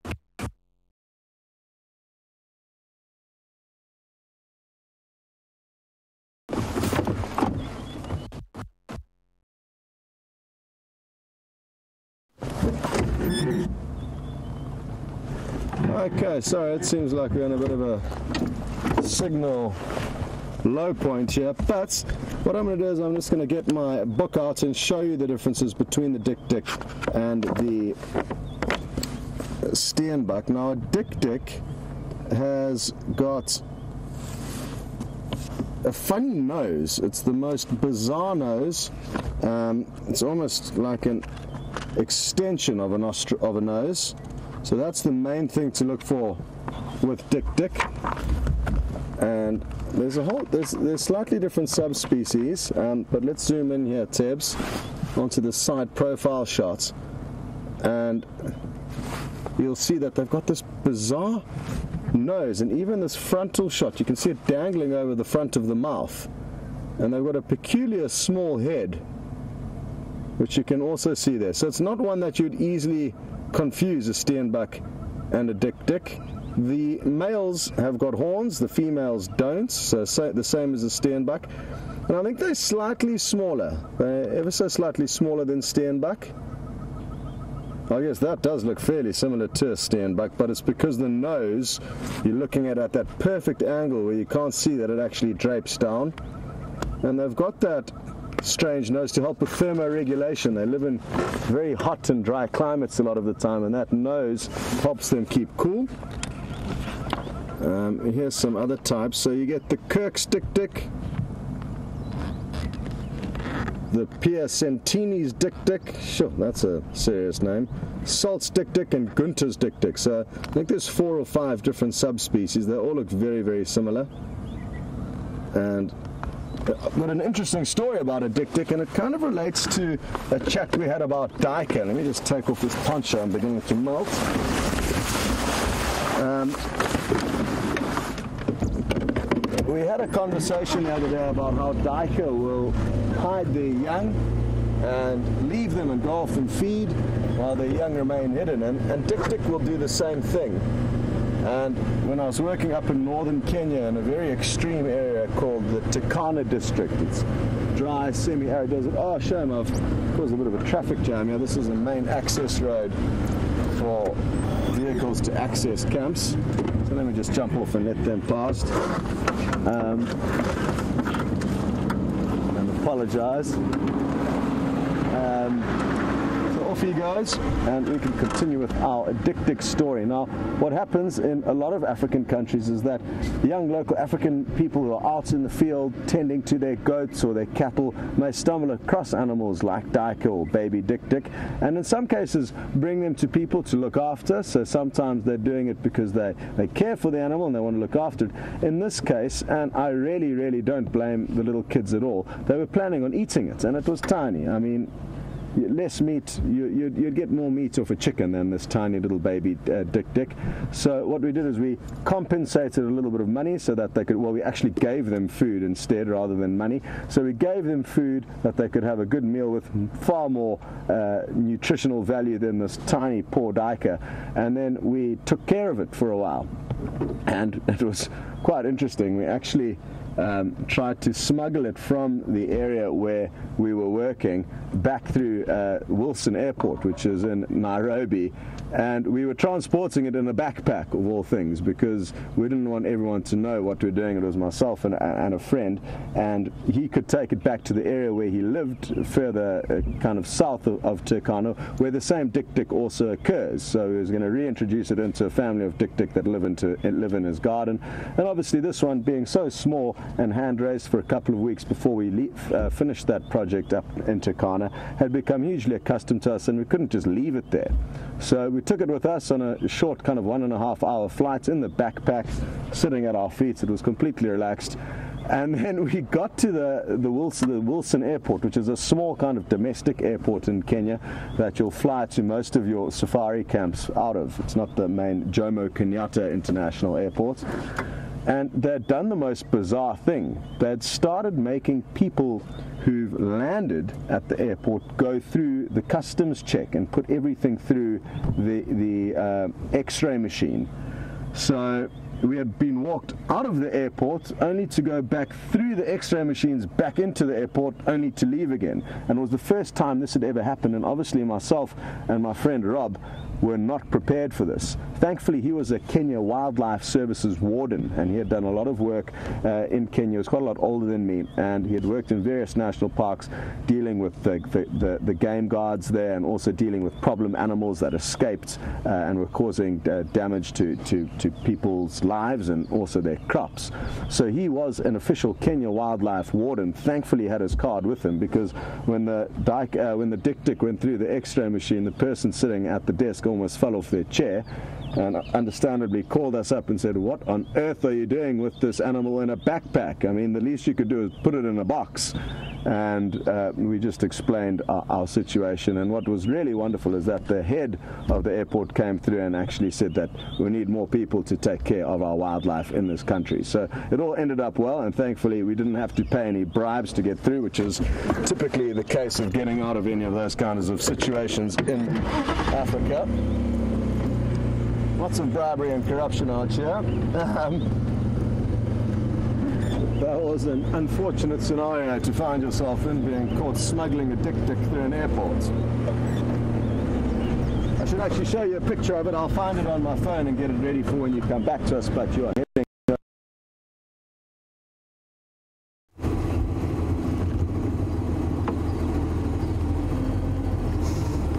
Sounds as though Scott's been telling you a wonderful story.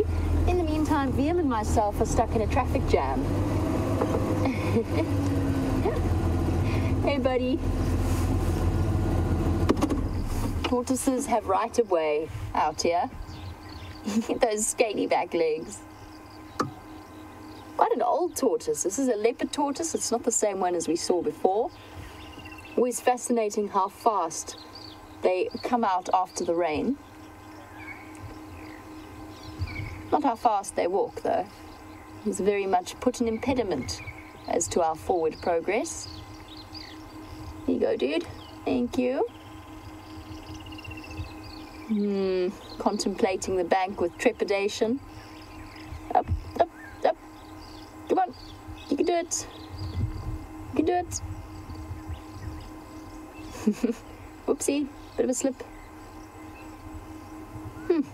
Easy easily done. A tortoise like this, I wouldn't claim to be an expert at aging tortoises, but I would say that this one is easily 20 years old. They grow very, very slowly.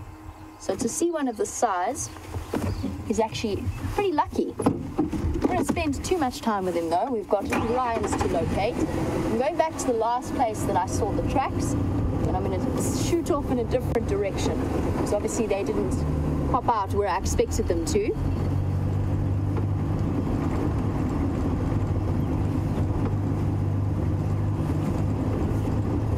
Those astonishingly large Nkuhuma feet. This was my fazingana, you from Modo. I just want to have a quick chat on the Game Drive channel. I just want to clarify which lines it is they found on Buffelshoek. Uh,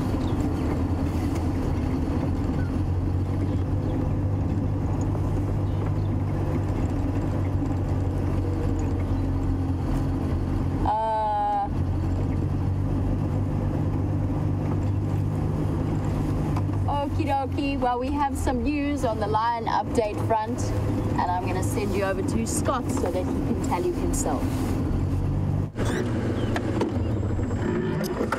Welcome back, everyone. We've got some unfortunate news. The lion have crossed out into Simbambili along this road. I'm hoping to try and find you a track, but it's surprisingly difficult in this kind of hard road, flat lights. There was one perfect track that Doug from Simbambili just drove over on his way into the sighting, but they are literally 60 meters away at a small little pan. Apparently, they are looking back east, which is towards us, and maybe they will come home to Djuma after they've quenched their thirst at that little waterhole. Um, sadly, they're not going to be able to show you a track. Quite a busy road this, um, all the tracks that were easy to see at one stage, I'm sure, have now been flattened. Um, but good prospects. The Lions could well head back towards us. Um, and Doug said he will be sure to let us know. So let's hope. But to be honest, let's go and look for something else. At the end of the world. There's lots of other animals. And after the, wonderful lion show we got yesterday, I don't mind leaving the lions to sleep. There. Obviously, if they were hunting buffalo, it would be a little bit more difficult to just accept. And that's why a sleeping lion is far better to hear over the radio than one that's actively hunting, which there are currently north of us in Buffelshoek. There's a Talamati pride, which is a pride with two big males that spend a lot of time with them at the moment called the Salati males. And there's also five lioness and eight little cubs. Eight cubs. Anyway, hopefully they'll start coming further south, but they tend to camp quite far north of our northern boundary. But they were busy showing some interest in zebra. That would be wonderful to watch. and hopefully it won't be too long before our traverse area gets extended. Our boss is doing everything imaginable to try and acquire more land for us, but it's not as easy as it seems, but it appears that hopefully he's going to crack a code and work his way into some more traversing area for us. Um, but we're just going to have to wait patiently for that to happen. I will literally be doing cartwheels the day that it happens because this is certainly the longest time I've been cooped up in such a small area of traverse. takes a bit of getting used to. There are certainly benefits to it, and I must say that. There are benefits to having a small traverse area. You get to know it intimately, you, you really do understand every little inch of it, but there comes a time where you'd also like a little bit more turf to explore.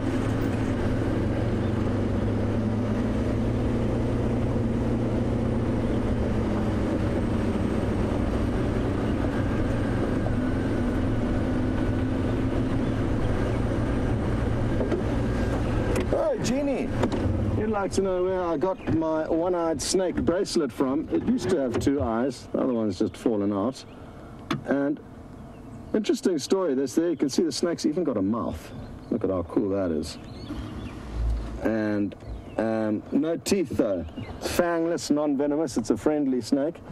And this was actually melted down in a pot in front of me. Not a pot, it was a baked bean tin, which has actually got quite a high uh, kind of resolution. That's the wrong word, but it's not easy to melt the tin of a baked bean. Whereas I think aluminium, which is the metal that was melted, um, was put inside. Little pieces of aluminium were put into this little baked bean tin, and a small fire was made by a Samburu blacksmith. Samburu people are a tribe in central Kenya, really tough people, and this guy was a Goliath. He was a brute of a, of a human who had walked, I think, seven hours from his village to come and perform this little uh, bracelet making for our guests that we were taking through a wonderful camp up in northern Kenya uh, that my friend owns and runs called Sarara, and it's one of my favorite places in Kenya. So the blacks- blacksmith came along and he melted down this aluminium into in this baked bean pot with a goatskin blower. So it's basically two bladders made of goatskin and then what they'll do is they'll each bladder individually, putting huge amounts of oxygen through the fire, creating an incredibly fierce flame that burns this or melts down this metal. And then what he did is, let me actually jump out and show you what he did because it was it's quite difficult to explain. Um, jump out on the left here, Tebs. Um, what he did once the metal was melted in this little baked beans and he made a little rift in the sand. So he, he went like that and then in the middle, like this, he created a spot to pour the molten metal into so he poured it in here, and that immediately creates a kind of long piece. And as it starts to cool, he then had a small anvil that he had ca- carried for seven hours from his village and started hammering it into this round shape and then flattened out the head. And usually, what happens, and it's a kind of Kenyan jewelry decoration, is that the the, the terminal points of the bracelet will be in the shape of a diamond, similar to the, the shape of the snake's head, and it'll meet another diamond. And what the girls will do is they'll wear them quite high up on their arms, they'll wear them kind of up on their bicep or on their uh, elbow joints, and each diamond will meet in the center. So I just told them to flatten out the other diamond and make it into a snake's tail, and then obviously put in spots for eyes that we super glued some beads into, and then he obviously made the little mouth. So it was handmade in front of me. What he did to create the little scales was hammer with kind of like a broken screwdriver all the way around in order to make the little scales. And that was a cool experience. Our guests loved it. They got bracelets made, and some of them bought their belts to get beaded like this, or like uh, their denim jackets and got them blinged out with some rural beadwork. Really cool stuff. Good. So that's where the bracelet came from. The Mathews Mountain Range in northern Kenya. Beautiful, beautiful parts of the planet where dik dik and leopard are plentiful. And you could actually see the dik dik being consumed quite regularly there by a female leopard who was very habituated with the vehicles.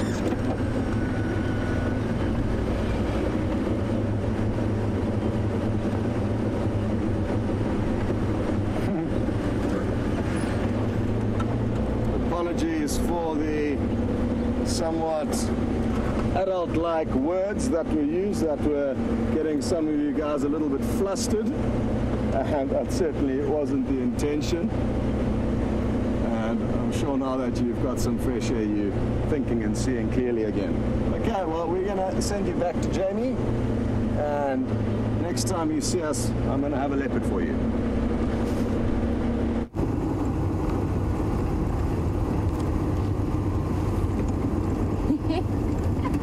Now, since our lions have pulled a sneaky maneuver upon us, I've decided to come and check the more open areas of Djuma. Hopefully, the sable hasn't pulled the same trick on us. I know that they like nice open clearings. So I'm keeping a close eye out for them. And how exciting would that be? The big antelope, but this is not a sable. It is a relative of Scott's mistaken sable, but it is not actually a sable. Hello, Kudu. Ever accompanied by oxpeckers, grooming through her fur.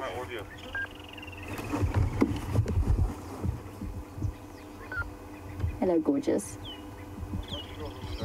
I found, it's amazing, I found one kudu on Djuma that is not pregnant.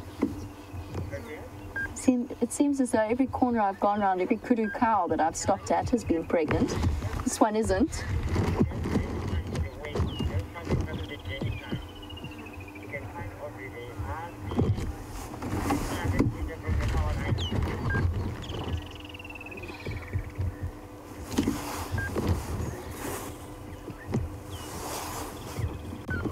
And D. Curse, you were wondering what antelope has fangs or canine teeth. Um, in terms of their dentition, very few of them have well developed fangs. They have flat incisors using for, used for nibbling away at the grasses and the trees that they munch on. And then, obviously, the most important part for them are those long rows of molars at the back. And what I'll do for you is I'll have a look and see if I can't find a jawbone or a skull somewhere, and we can have a look at the teeth of the different antelope species. They all share a very similar tooth structure.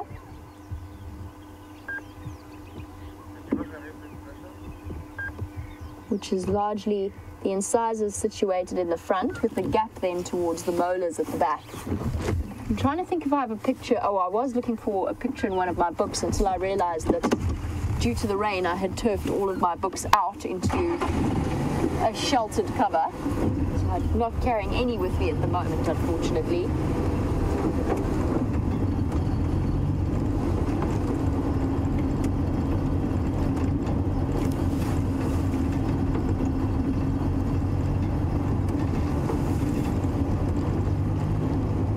And Sabrina, hello. Welcome to the Sunrise Safari. Sabrina is one of our 12 year old viewers who is very, very keen on the wildlife that she's been watching on the show and has all kinds of exciting future plans that I've been discussing with her. But Sabrina, you wanted to know if we get oryx here. We don't. They are situated in the more arid areas, so around the western edge of the country, the sort of northwestern corner towards the Kalahari, and then up north from there into Botswana and Namibia. Now, there's a species known as the Gemsbok, which is an oryx species, that are absolutely incredible to look at, and they're one of my, they must be one of my top favorite antelope species. It's a pity that we don't get them here because they are spectacular to look at. They've got striking dark shapes. What I'm actually going to try and do, oh, I keep forgetting I don't have my books. It's such an automatic reflex to go and look for a picture to show you. Sorry, I don't have a picture to show you. So the oryx, for those of you who don't know, they have those huge long horns, a meter wide or a meter long, so three feet long, that are essentially spears, and both the male and the female have them. Now, we spoke earlier about the way that they are related to the sable in their own way in terms of size and stocky build. And again, both males and females, because they live in arid open areas, have horns that they can use to fiercely protect their offspring and themselves. And when a, an oryx or a gemsbok comes under attack, they bow down onto their knees and they drop their horns forward as essentially it's like a barrier of spears when the whole herd does that. They are incredible animals to watch. And what was fascinating is recently in a reserve around the Kalahari, they released a pack of wild dogs for the first time into that area in who knows how many years, a very long time. Uh, nice big area, so they had plenty of space to run, which we know wild dogs do need to run. And obviously, there's quite a few projects involved in reintroducing them to this uh, to their previous range and habitat. And nobody ever expected one of their kills to be an oryx species. They always thought that it would be a little bit too big for the wild dog to take on, but actually they managed, they started becoming specialists in hunting and avoiding those scything horns. They are really intense antelope and so striking. And then just on the subject of antelope, Mercedes, you were wondering if we get Oribi in this area. Oh, sorry, it wasn't Mercedes, it was Monkey Man. Monkey Man was wondering if we get Oribi, quite a long-legged antelope, similar in appearance or about the size of an impala. And not in this particular area. Again, different range, different habitat. They're more adapted towards the the forested areas and the um, the more coastal areas of the country. So if you go down into KwaZulu Natal or Eastern Cape, you're more likely to find Oribi there.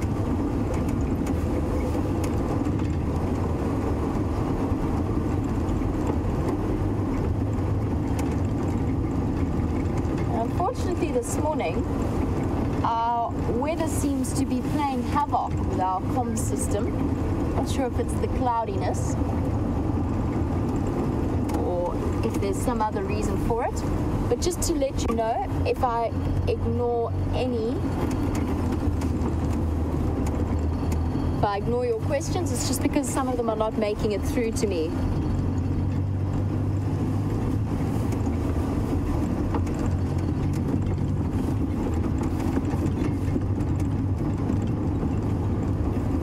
Ah, well, we've got a nice way of.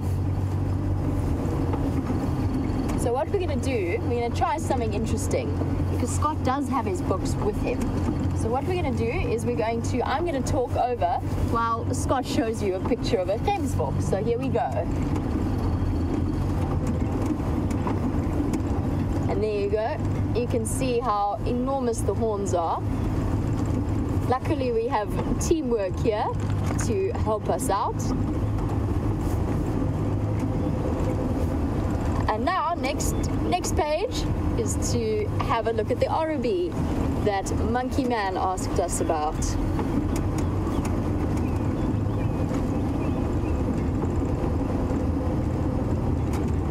There we go.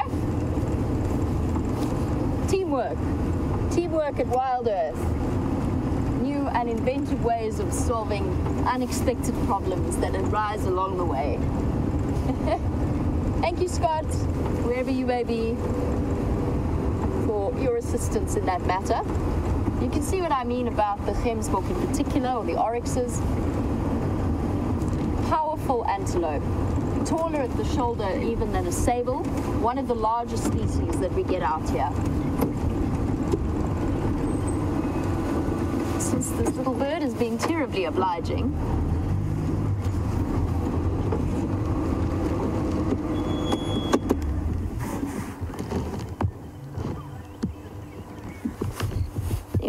A beautiful European roller. And with this camera in particular, it's always wonderful to stop and have a look at the closer details of the bird species that we see, including that hooked beak just at the tip there, powerful, solid, which makes this one of the, or an insect out here's worst nightmare. Proficient at catching things like bees and wasps, similar to the bee eaters, and then swiping their beak repeatedly along the side of a branch. What was that?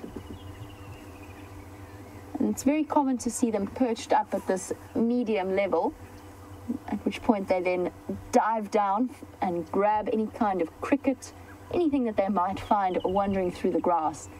And a rainy morning like this morning is great for a, a European roller like this one it means that the insects are going to start making an appearance, much like the tortoises were, coming out of their hiding places where they've been trying to escape the heat and the dryness. Also, a bird with well developed rectal bristles around its beak. Now, this is a tiny but fierce predator of the skies. Apparently, Scott has found a huge predatory bird.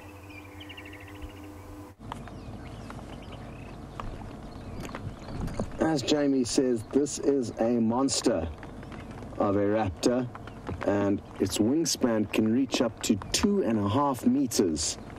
This is the martial eagle. It's an eagle we don't see very often here.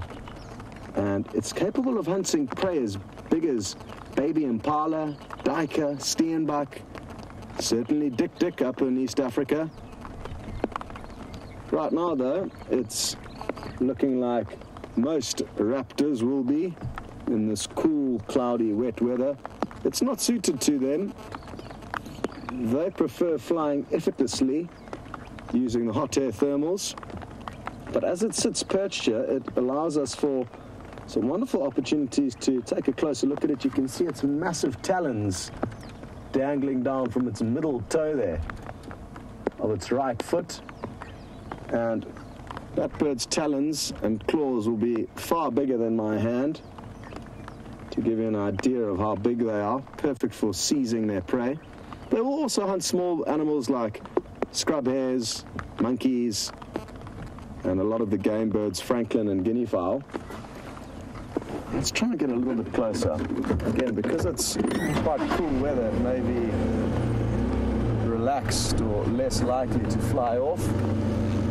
Problem is, I don't know how good our angle's going to be as we get closer. Hmm.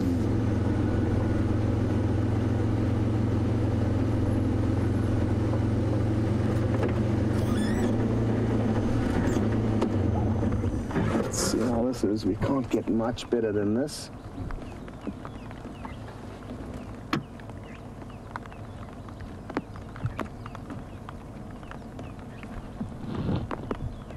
To the Siberia Zumi who's noticed its white tuxedo-like colorations. And that's a great way of describing it. Look at that claw.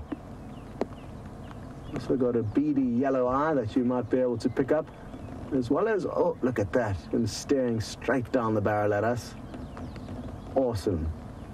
Also got quite a big prominent crest. And what I'll do is I'll pull out a picture of one in a book to show you what they look like up close and personal. They've also got a kind of brown speckling on their breast. It's not entirely white. Um, and certainly one of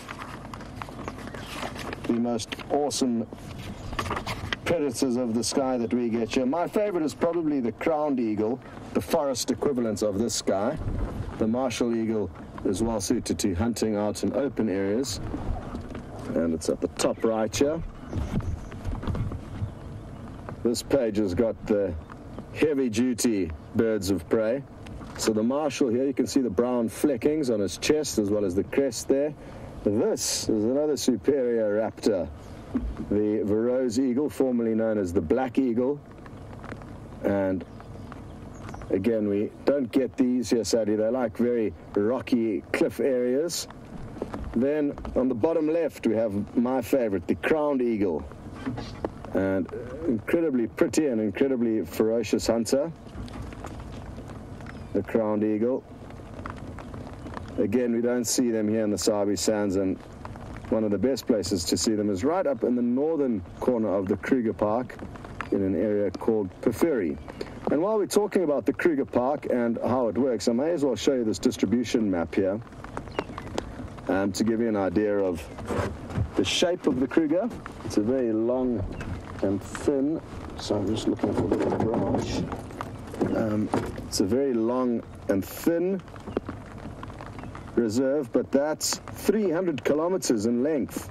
And it opens up to Zimbabwe to the north and Mozambique to the east. So it's a trans-frontier park.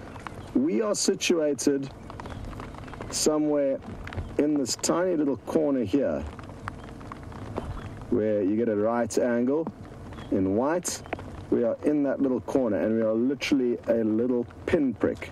We are 60,000 hectares, the Sabi Sands, of close on 4 million hectares, which creates the Trans-Frontier National Park. What you can see here is probably about 3 million. We get add an extra million with Zimbabwe and Mozambique. And on top of that, the Sabi Sands is 60,000, like I say, and our Traverse area is about 2,000 hectares with Djuma and Arathusa combined. So we are li literally a little pinprick with relation to how big this wonderful wilderness area is. Mr. Martial Eagle, you don't want to go and catch something for us? I don't blame you in this weather for not being up and about though. Well, sacrosanct, you are one lucky individual, and you were lucky enough to see a martial eagle swoop down, catch a mongoose, and fly off with it. And it's something that I always think about, and I've discussed it a couple of times with you guys, and that is that it's so difficult to film birds of prey that we've actually got very little idea of how awesome they are. And few of us have ever seen them hunting in action. I know all my time in the bush, I've hardly seen these animals hunting. And you may see them swooping down, but at the perfect moment, the bushes will get in the way or the prey will disappear. They obviously not easy to follow because they're flying and we're based on the ground. But maybe with the way technology is going, we are in the future going to be able to gain an insight into their hunting and be there to capture some incredible moments as they do hunt. But Sacrosanct, very happy to hear you got lucky with that.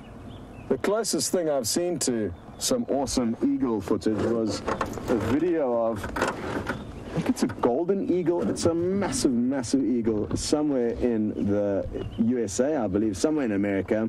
And there was a guy playing with his family on like this big open park. And he had his camcorder out and he was filming his tiny little kid, maybe two years old, I don't know, stumbling around. Not very big and not very uh, coordinated uh, just wobbling about on this big grassy plain, and the wife was probably somewhere there too, and then, you know, just a bird soaring up above him. So I thought he would combine his family documentary with a bit of wildlife. So he panned up and started filming this massive eagle soaring above them, and then all of a sudden, the eagle swooped down and actually picked up his kid and flew a few meters into the air with it, then dropped the kid and carried on flying off. But imagine that. Um, horrifying. And I wouldn't wish that on my worst enemy. Because imagine how helpless you must feel with an eagle flying away with your kid. But there's an important lesson in that, and it gives you a good indication of how big some of these animals are and what prey they are capable of taking down. Um, it's not uncommon for martial eagles and crowned eagles to catch um,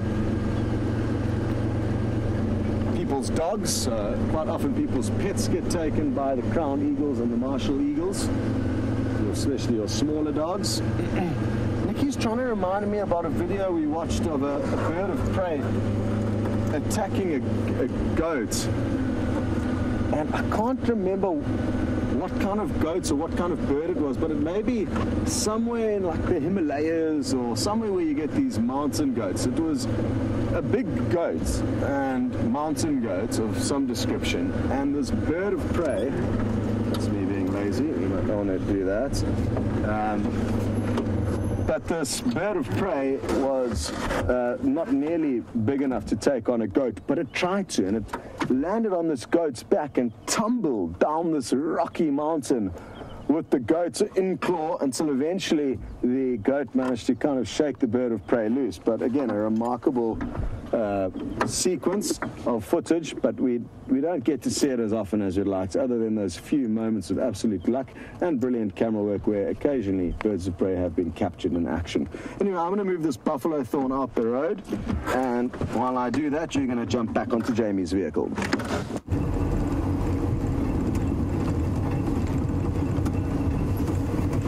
And that's awesome. It's not often that we get to have a look at a martial eagle. It's actually quite unusual to see them, although they are fairly dominant in this area. But an enormous bird, definitely one of my favorite eagle species.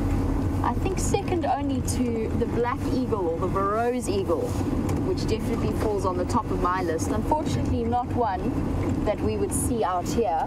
They much prefer the mountain tops and the crevices there. Like to build their nests on cliff faces. Much like the martial eagle, they're very similar in size and bulk. They rely on the crushing power of their weight at the end of a flight, and they hunt, also capable of hunting little antelope, as well as rock hyraxes. Who's hiding here? Come on, Rusty. Please play nicely. There we go. Sitting in the top of the tree. One of the smaller raptor species. It's a juvenile. It's a juvenile goshawk. Awesome. Looks like a juvenile dark chanting goshawk to me. It's slightly orangey beak, bare legs tells us that it's definitely not an eagle species, as well as the size. And the size puts it around goshawk level, but it hasn't yet got the dark grey colour or the banding around the base of the tail. And luckily, I've just discovered Brent's bird book, so I'll be able to double check that. But I'm fairly certain it is a juvenile goshawk. And it's amazing how long it takes the juveniles of the birds of prey species to actually gain the coloration of the adults. In the case of bateleurs, it's somewhere in the region of seven to eight years before they acquire or before they reach sexual maturity.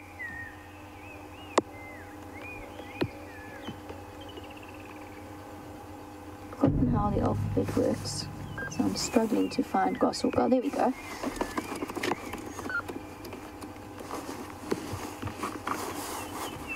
What would be nice is if it would kindly turn and face us so that we could see if it has banding across the front of the chest. Come on, buddy. Don't you want to turn around and say hello? The only thing that throws me off slightly is the dark colored eye. Goshawks usually have lighter colors. No, it's got to be. It's got to be a juvenile dark chanting goshawk. Nothing else I can think of that could, could be at that particular size. And that pale color that's starting to come through. Oh, it's, rain is coming again. Gentle drizzle.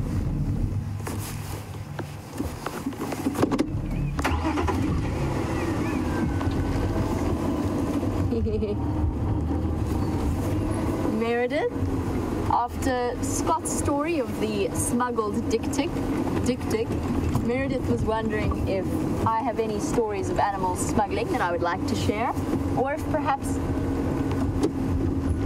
a lady doesn't tell. Sorry, Meredith. In this case, we are distracted by these spurring or sparring impala.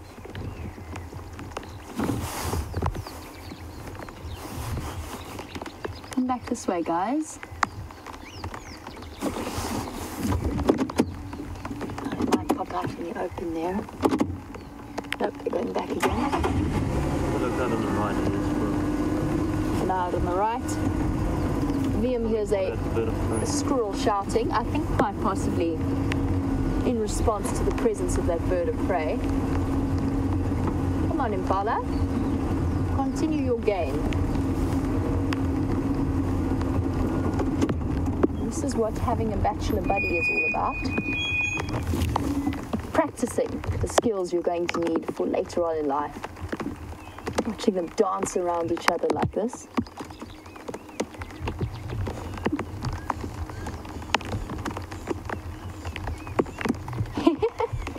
They're playing. They are actually playing in the rain. There's nothing serious about this particular fight. You can see there's it's almost light-hearted in their body language. The one skips away and then the other one skips forward and taking it in turns, but not actually really seriously making contact with each other. Bit of a clash there. Skipping backwards and forwards.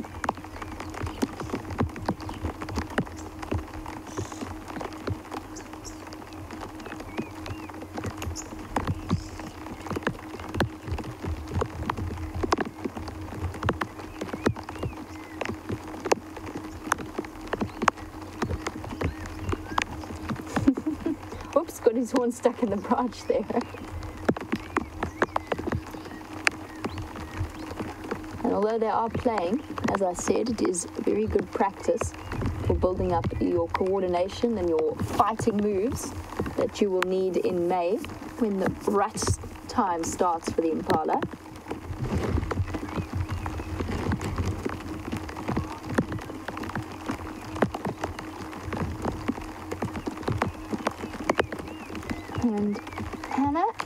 Oklahoma, while we watch these two antelope species clashing quite seriously, actually, now, they're making contact at least, he wanted to know what makes a deer and an antelope different. And we're actually, they're using one of the main differences between antelope and deer. Those horns sitting on the top of their head, only antelope have them, and they grow from a growth plate and are solid bone and they're permanent throughout their lives. Covered in a, ker- a keratin sheath, very solid living tissue that will be on their heads the entire time so they don't shed their horns at any point. Whereas with deer, the main difference is that deer have antlers and that are shed usually once a year around the end of breeding season, once all of the ewes have been mated with. But again, I mean, they're very similar animals and they have essentially evolved in different areas, in different ecological niches. Of course, antelope species more adapted for the hotter, drier climates, whereas the deer species are more geared towards cooler climes or are more capable of co- coping. I can tell you if we had the amount of snow that certain areas of the states have been getting, our antelope species would not be able to survive it. Game over. Oh no, game's continuing actually. It's just continuing around the back of a bush. And Meredith, since I can't actually ignore your question, you want to know if a lady never tells. I'm quite happy to tell you my smuggling stories. I've never tried to smuggle an animal through the airport, although I did help a boy smuggle, smuggle his pet snake on once onto a plane. Um, that doesn't count because it wasn't my animal, so it's fine. Um, he was hiding it up his sleeve, and he was sitting next to me in the seat, and we I would act as a lookout, but I was very young. I can't, it must have been the one first time I ever flew on my own. I probably throughout my childhood attempted to smuggle many a creature into the house. And I do remember having a pet mouse bird that had fallen out of its nest that I adopted. Its name was Pidgey for some unknown reason. I was very young at the time, is all I can offer. And Pidgey I used to smuggle into school. Here. Impala racing around like maniacs. I was trying to read. I was trying to get around to them on the other side of Treehouse Dam. Luckily, Liam is on top of his game as a cameraman. They sprint around like mad creatures. Ah, the rain has come. The rain has returned to us once again. So yes, I smuggled a mouse bird. It was a speckled mouse bird, for those of you keen birders. Not one that occurs around in this area, but it's very common in Johannesburg. And I used to smuggle this bird into school because I was convinced that they would never let me take it in, and it had to be fed. It had to be fed every couple of hours. It was a young baby bird. And when the teacher did find out, I used to hide it under my ponytail. I used to have a low ponytail and keep it there. But of course, birds cheep. They make a noise. And naturally, I got caught out within the first few minutes. Um, and the teacher actually then gave me full permission to keep the bird at school and actually helped me feed it and gave me advice. So there you go. At least South African, the wonderful South African teachers can be very understanding. I've smuggled hamsters into school before, up in blazer sleeves. And there was a enormous black market trade in silkworms when I was a child as well. Something that I'm sure all South Africans who've grown up around in the the cities can relate to. We all had a box of silkworms that we used to feed with mulberry leaves. I can hear alarm calls somewhere, but I'm just gonna sure if it's a bird of prey they're responding to, but if it ties in with Liam's squirrel, you never know what you might find.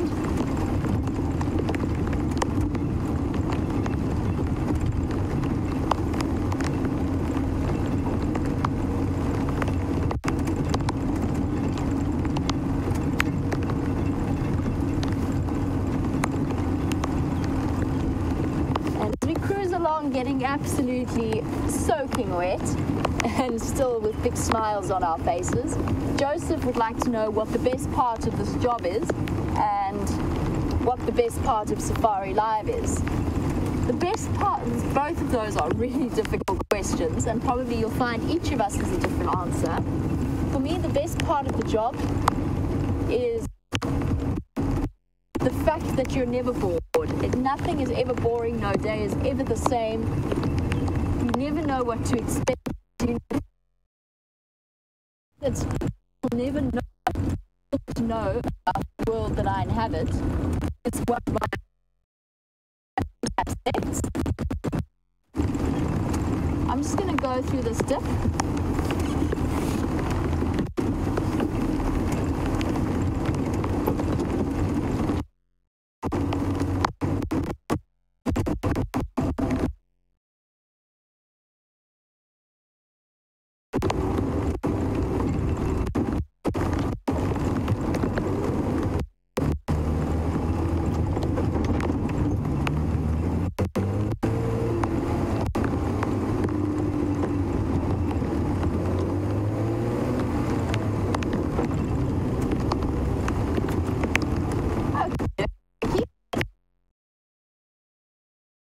There. I just wanted to race through it.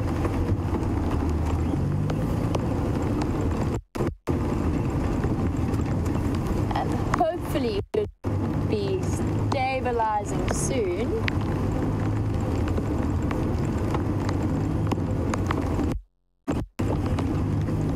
Obviously, apparently Weaver's is a little bit of a black hole with as well.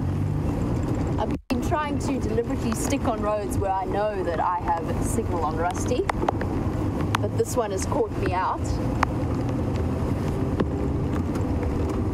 One more time, let's try that again. Joseph, you were wondering about the best aspect of the job. I said that it was learning something new every day and always experiencing different things and never knowing what to expect. The best part of the live safaris, I think, is the fact that they're live. So short of actually being here and experiencing them, they it's happening. There's an excitement like watching a live sports game.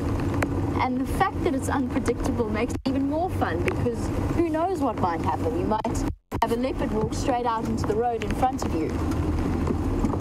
I say hopefully. No, not this time. That would have been. Yeah, we've had so many moments like that this thought it might particularly. Um, and then, of course, the fact that even if you are here as a guide, as a guest, you're here for a short period of time, whereas these live safaris, you actually get to extend it. So you get to watch stories play out of individual characters, individual creatures like Karula or the Nkuhuma lionesses. And you get to weeks, months, years at a time and find out what happens to individuals. How cool is that? It's it's like the world's longest documentary, and of course we can't make it up, we can't fool you, and we can't script you. Apart from, of course, our green screens and the fact that sometimes it gets lighter in the morning. But apart from that, we can't actually make any time we are. The same time we are. And then, of course, there's the interactions and the questions that you all send through, which is definitely one of my favorite aspects to it.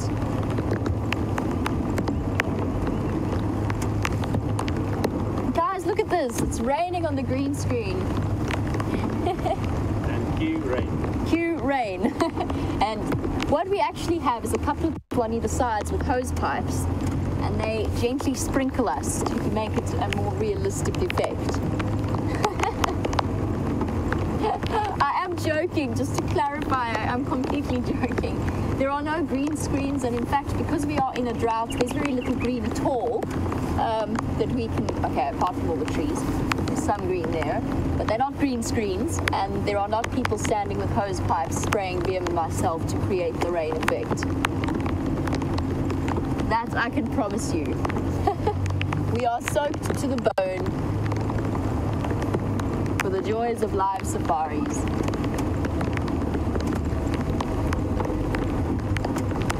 And I can promise you, if we were not live, that fall would certainly have been edited out. Oh my goodness. Yay. It's um it's collecting again. collecting around the lower back. Get a poncho. If I had a poncho, I forgot the ponchos, the giant blue ponchos. I was a bit worried though that if the wind picked up, I might sail away. Like something out of Mary Poppins.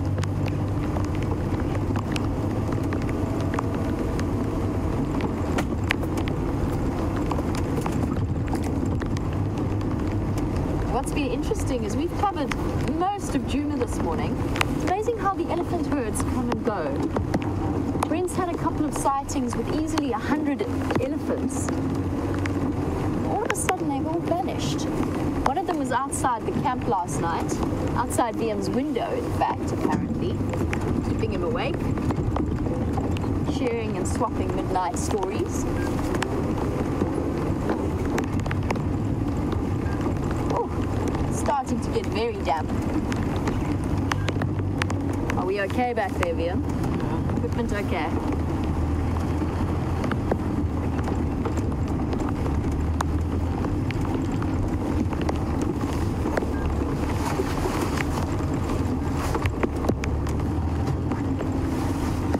Just preparing to put on the final aspect of our rain cover, which is a I don't I hesitate to call it a skirt.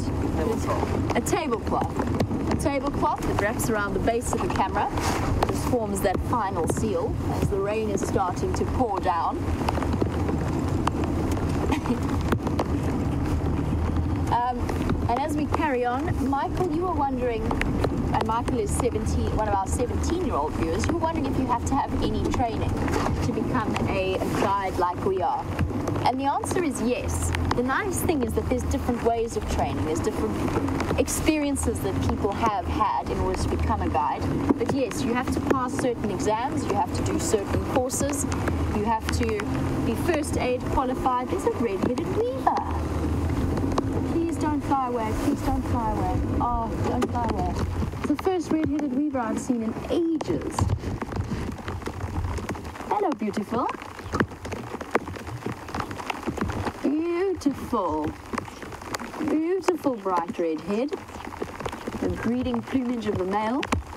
Like a little tomato hopping through the tree.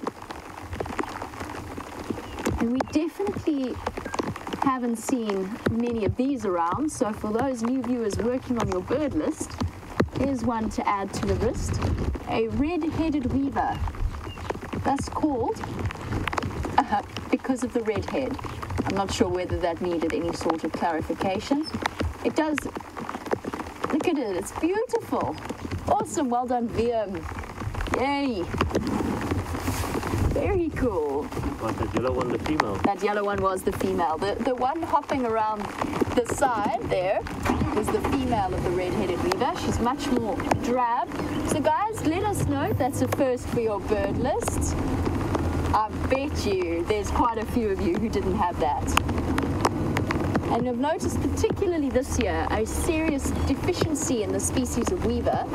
And I spoke to a friend of mine, Emma, who works closer to the mountains, chatting a bit about bird species, and they've had a marked increase in the bird species that they've seen. And I think that's because they've had a bit more rain than we have. How cool was that though? Red-headed weaver for a new bird for many of you, I'm sure. Hello, boy. We got distracted by the weaver and let you get away. Sorry. That weaver was just so interesting.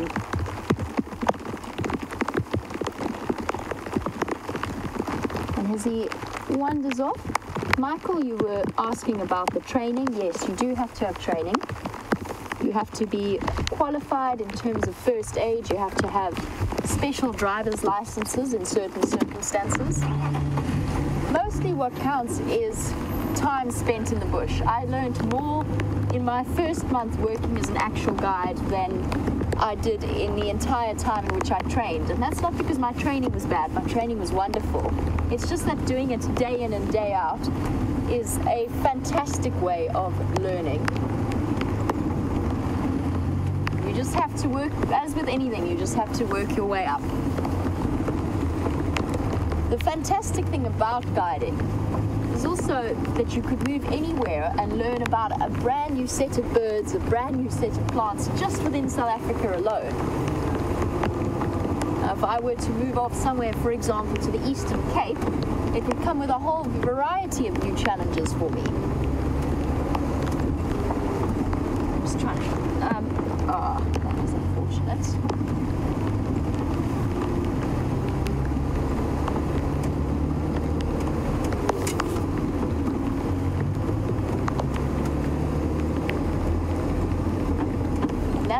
the aspect where our experience comes in handy in terms of deciding the answer to Jonathan's question. So, Jonathan, first of all, you wanted to know how we decide where we're going to go when we go out on the average three hour game drive.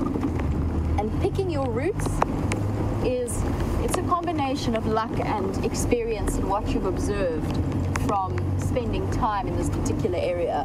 So where how do we know where to go? Know where sightings were and we pick where they might have crossed onto the property. Possibly we just go and explore an area where we know that there's water on a hot day, although we seem to have plenty of it falling from the sky at the moment. And Jonathan, you were also wondering how far we might try, travel on an average game drive. So an average game drive, let's say we don't, for example, yesterday we had the Lions at quarantine. Between Scott and myself, we can't have driven more than maybe four miles between us. And that was because we had sightings very much in the vicinity. But probably on average, I would say that I drive about between seven to 10 miles maybe and that's on a, that's on quite a busy day, covering quite the extensive road network that we have. It's all about some of it's luck, some of it's experience, a lot of it is luck. If I'm completely honest. Sometimes, and we've had a lot of it. The last few days, we've, or the last few weeks actually, we've been incredibly lucky with the sightings we've had.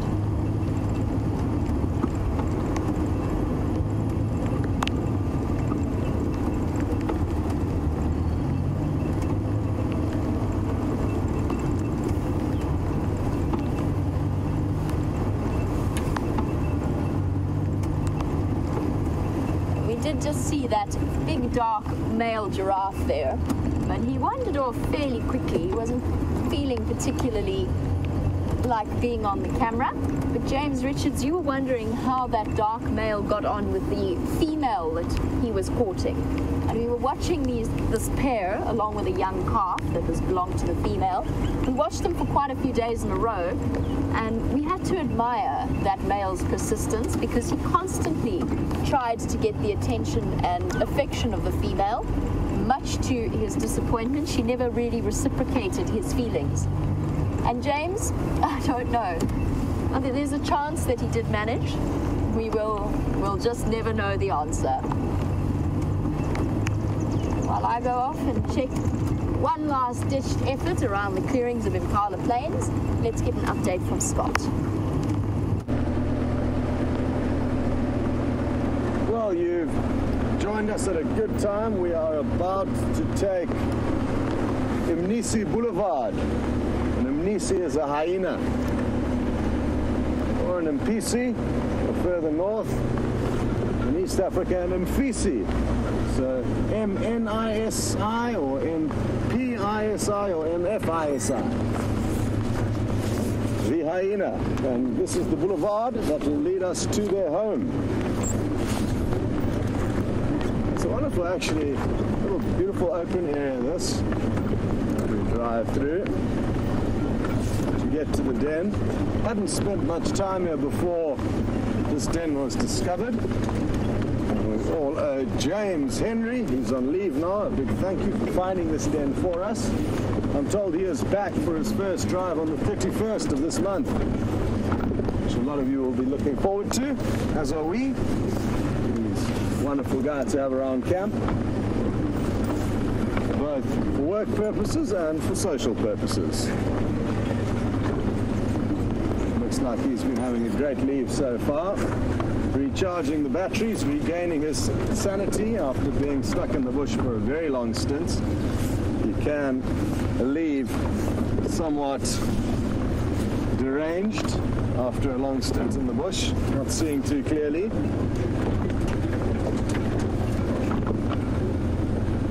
What are the hyena going to be up to? Hoping we're in luck. Oh, it's looking promising. Couple of hyena about.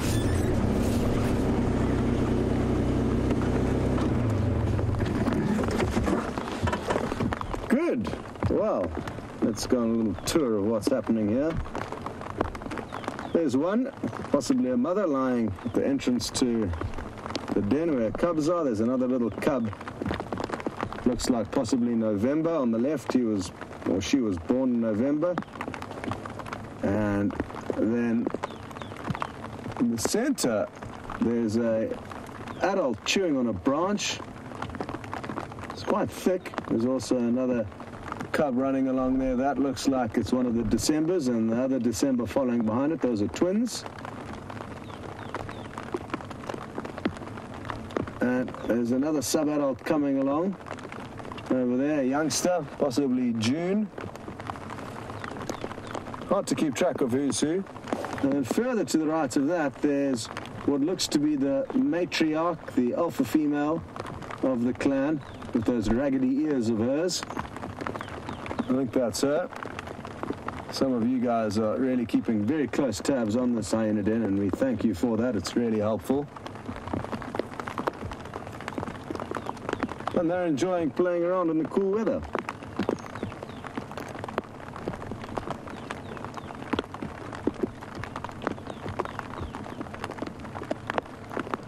Diana Giles would like to know if these animals are scavengers. And yes, they've certainly been painted in that light, that all they're good for is stealing. But that's not entirely the case. In this area, though, of South Africa, I think it's fair to say that hyenas do scavenge more than that they hunt. But even that is not confirmed. It's because we don't spend time or much time out at night and therefore it would be wrong for us to assume that they aren't hunting while we're sleeping. But because of the high leopard density here, I think they do focus on stealing from leopard quite often. On one occasion, though, Diane, the Djuma waterhole did capture hyena chasing an impala into the waterhole, and then when it tried to escape out of the water's edge, it got consumed by the hyenas. So they can hunt, and in some areas of Africa, they've actually been documented to hunt more successfully than the lion, and the lion actually steal more from the hyena than vice versa. So roles will be reversed, and all predators will scavenge. Leopards will scavenge from other leopards. They'll scavenge from cheetah. Lion will scavenge from anything that they can overpower, which is just about everything. So everything's a scavenger and a thief archer when the opportunity presents itself. Hyenas, yes, are kind of specialized, I think you could say, in scavenging.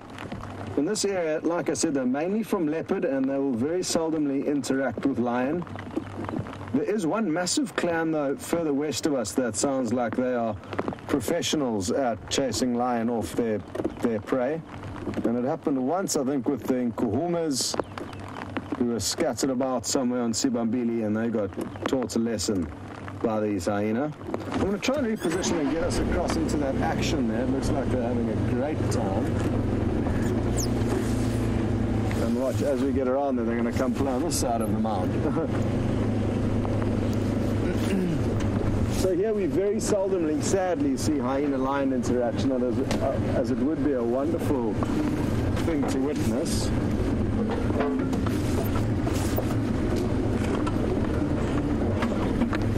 I've seen very seldomly.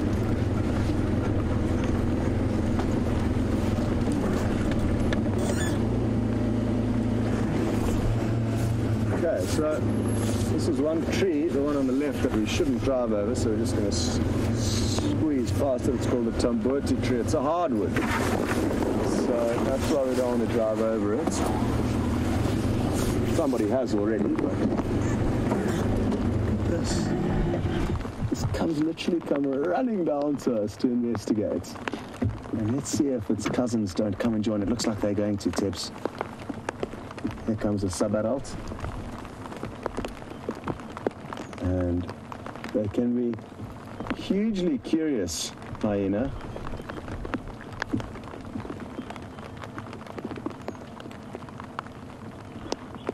Uh, it looks like these guys are having a serious wrestling matchup. They're possibly jostling for a nipple to drink from. Just going to move forward a little bit more.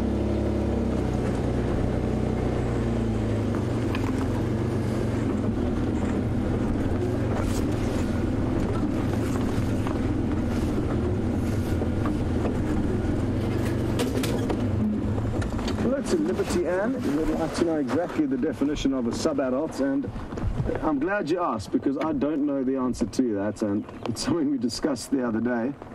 When do you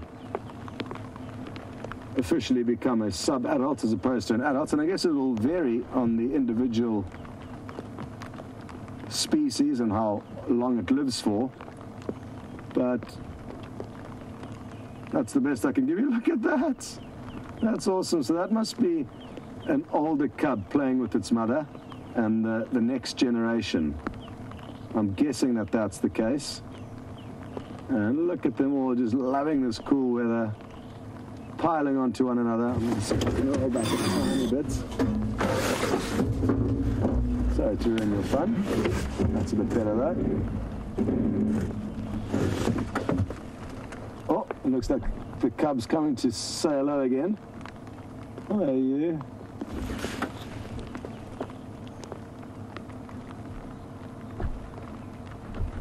Difficult to know where to look in these situations because there's just action everywhere, but this one is definitely winning the camera time after its close investigation of us. Uh, and they're covered in a fine layer of mud. Oh, we've got another visitor. Aren't you guys brave this morning, eh?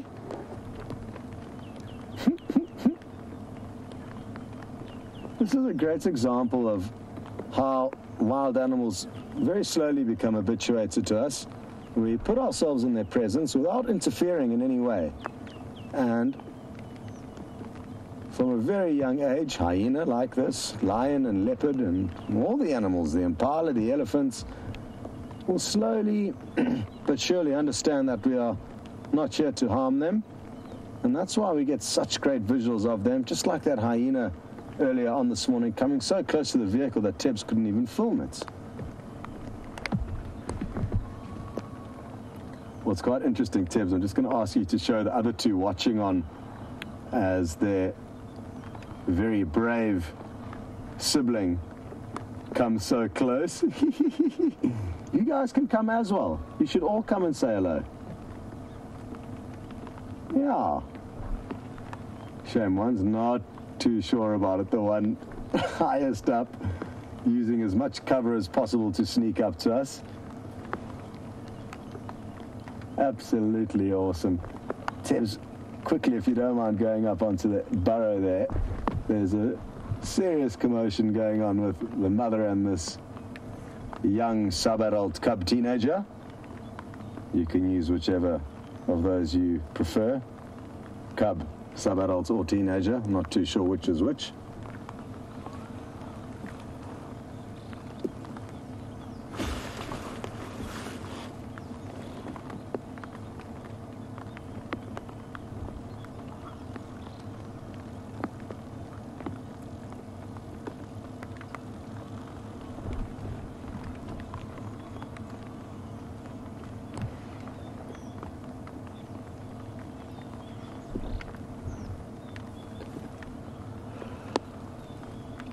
Hello, Gex Gecko.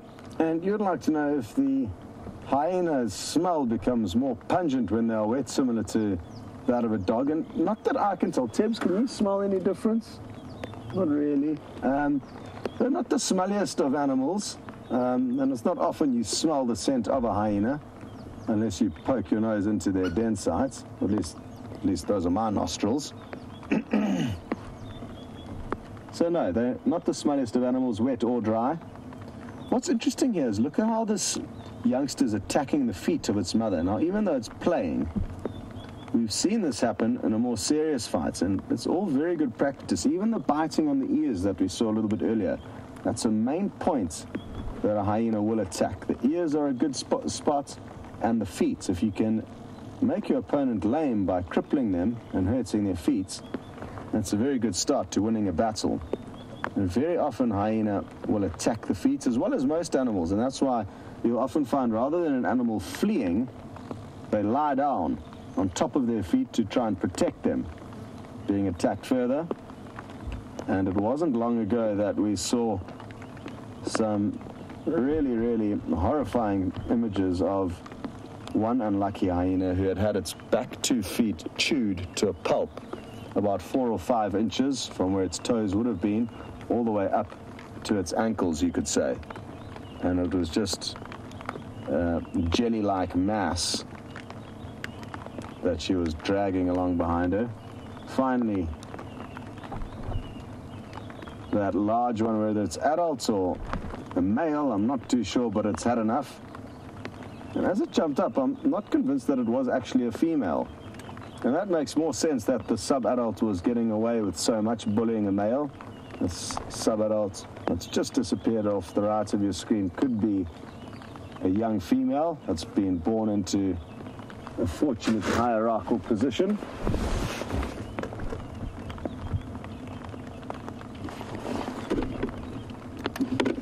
I think we should reposition, see what's happening on the other side.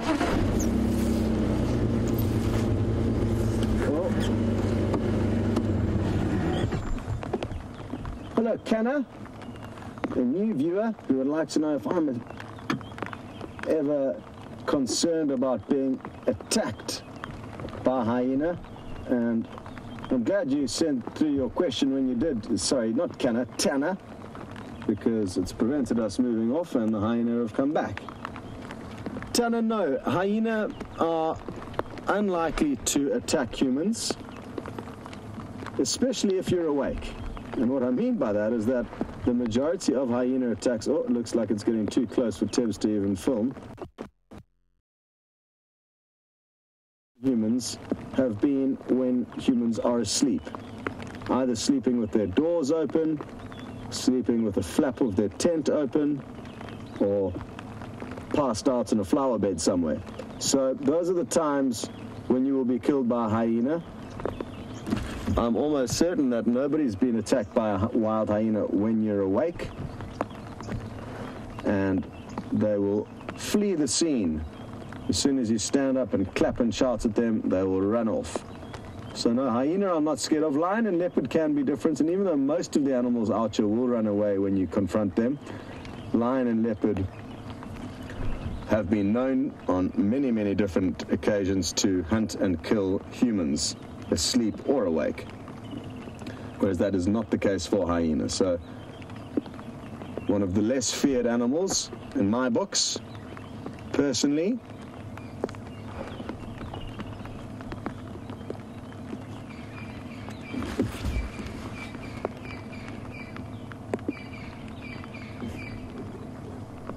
Hmm.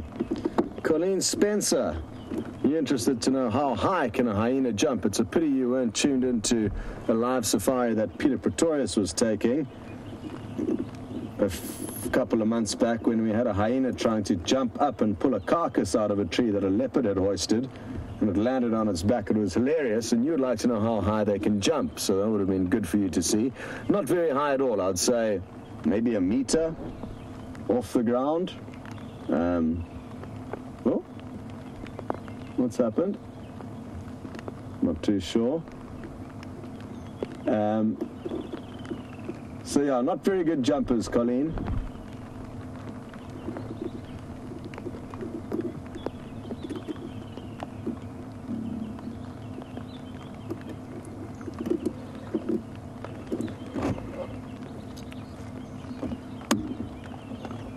Hmm.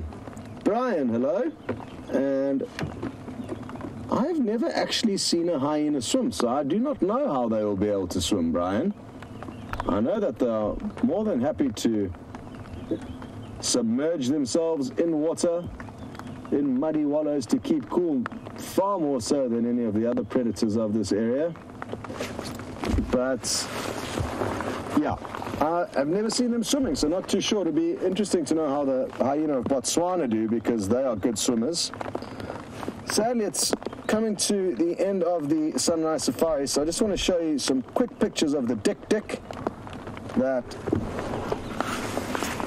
we raised for a while in northern Kenya. This is such a cool picture. It's pronking for joy. We were taking it on an evening stroll, as we did every evening and morning, and it's pronking in the air, all four feet. And this gives you an idea of, maybe I should go this way, of how small it is.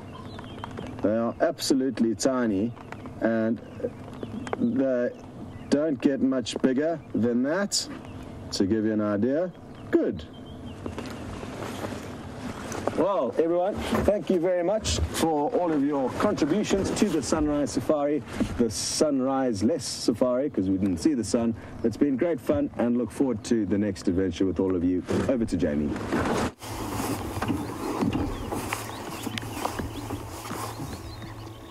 Thank you very much, ladies and gentlemen, on this rain drenched morning where the vultures are stuck at the site of the kill where they cannot take off and thermal around as they would like to, even though there's no food left for them to snack on. Thank you for all of your questions and your comments. It's been great having you on board with us. So wonderful to have a bit of moisture. And thank you to Liam for his wonderful camera work and the lovely ladies in FC for all of their great voicing and directing. Have a great day. We'll catch you this afternoon.